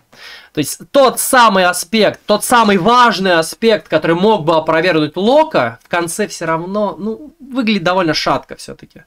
И я понимаю, почему Пинкер в начале своих рассуждений, когда он опровергал, опровергал Лока, он не начал употреблять, ну, не начал к этой концепции непосредственно на нее вообще ссылаться. Потому что она наименее всего доказана. Она наименее убедительно выглядит даже. Для того, чтобы ее оспорить, просто достаточно посмотреть на саму структуру эксперимента и сказать, ну, вообще-то это, ну, вообще, вообще слишком легко культурно объясняется. Людям не нравится инцест? И что? И что с того? Не нравится людям инцест. Какой ужас. А, и так далее, так далее, так далее. А, ну, то есть почти все, почти все опыты, которые здесь Пинкер приводил, э, из них просто следуют нереально далеко идущие выводы. Прям вот, прям вот, вот, вот опыт был проведен, и получилось, что люди не одобряют инцест, поэтому есть нравственное чувство внутри человека, оно биологически обусловлено эволюцией, там да-да-да-да-да, бу-бу-бу-бу-бу. И ты такой, а, так, стоп, так, стоп, Пинкер, осторожно, подожди, подожди, Пинкер, остановись, пожалуйста. Ты куда-то улетаешь сейчас, ты, ты что-то слишком быстро делаешь выводы. Я не успеваю за твоей скоростью мысли, слишком, слишком быстродейственно, слишком, слишком мощно это. Пинкер, будь добр, да, помедленней, помедленней. Как из того, что людям не нравится инцест, даже вот, ну... Э, с точки зрения рационального подтверждает, э, да, что э, чувство антиинцестизма врождено в человека. Расскажи нам, пожалуйста, Пинкер, расскажи, почему это врожденное качество? Не расскажет. Про убийство, там, и изнасилование, там тоже такая чепуха, которая просто противоречит истории всей нашей жизни. Так что здесь тоже непонятно, о чем речь идет. Э, и так далее, так далее, так далее. То есть, к большому сожалению, почти все вещи, которые здесь реально противоречат чистому листу, они все так ничтожно сформулированы, и, и там настолько далеко идущие выводы, что в других статьях, в других материалах, в других главах настолько далеко идущих выводов просто не будет. Пинкер нигде больше таких колоссальных скачков не делает. То есть э, нету такого, чтобы и там это инцест, про, все против инцеста, а, это нравственное чувство. Нет, такого больше нигде нет. То есть в других местах Пинкер более обстоятельно, что ли, рассказывает. Не обосновывает, не доказывает, но более обстоятельно рассказывает, и там более понятно, а почему он пришел к такой идее. А в данном случае вообще непонятно в целом. Типа люди раньше не знали, что люди осуждают инцест. Типа, блин, ну и чё? Ну и что? Ну и что с того? Ладно, друзья, спасибо вам большое за заказ, большое спасибо Малику и Маркусу Готу. Маркусу Готу спасибо, Борисову большое спасибо нашему товарищу за вот это прекрасное видео и за все прочие прекрасные видео, которые будут еще впереди и позади сегодня, и завтра, и позавчера, и вчера, и так далее. Ну, вы поняли? Ребят, я вас всех люблю, соответственно, приходите на стримы, задавайте вопросы, давайте общаться, я вас дичайшим образом, в общем-то, обнимаю и желаю вам всего самого хорошего. Увидимся с вами на стримах и на других видео. Приходите ко мне, пожалуйста. Я буду всегда рад с вами подискутировать на разные темы. Особенно за донаты, как говорится, обсудить разные видео, материалы и контент. Все.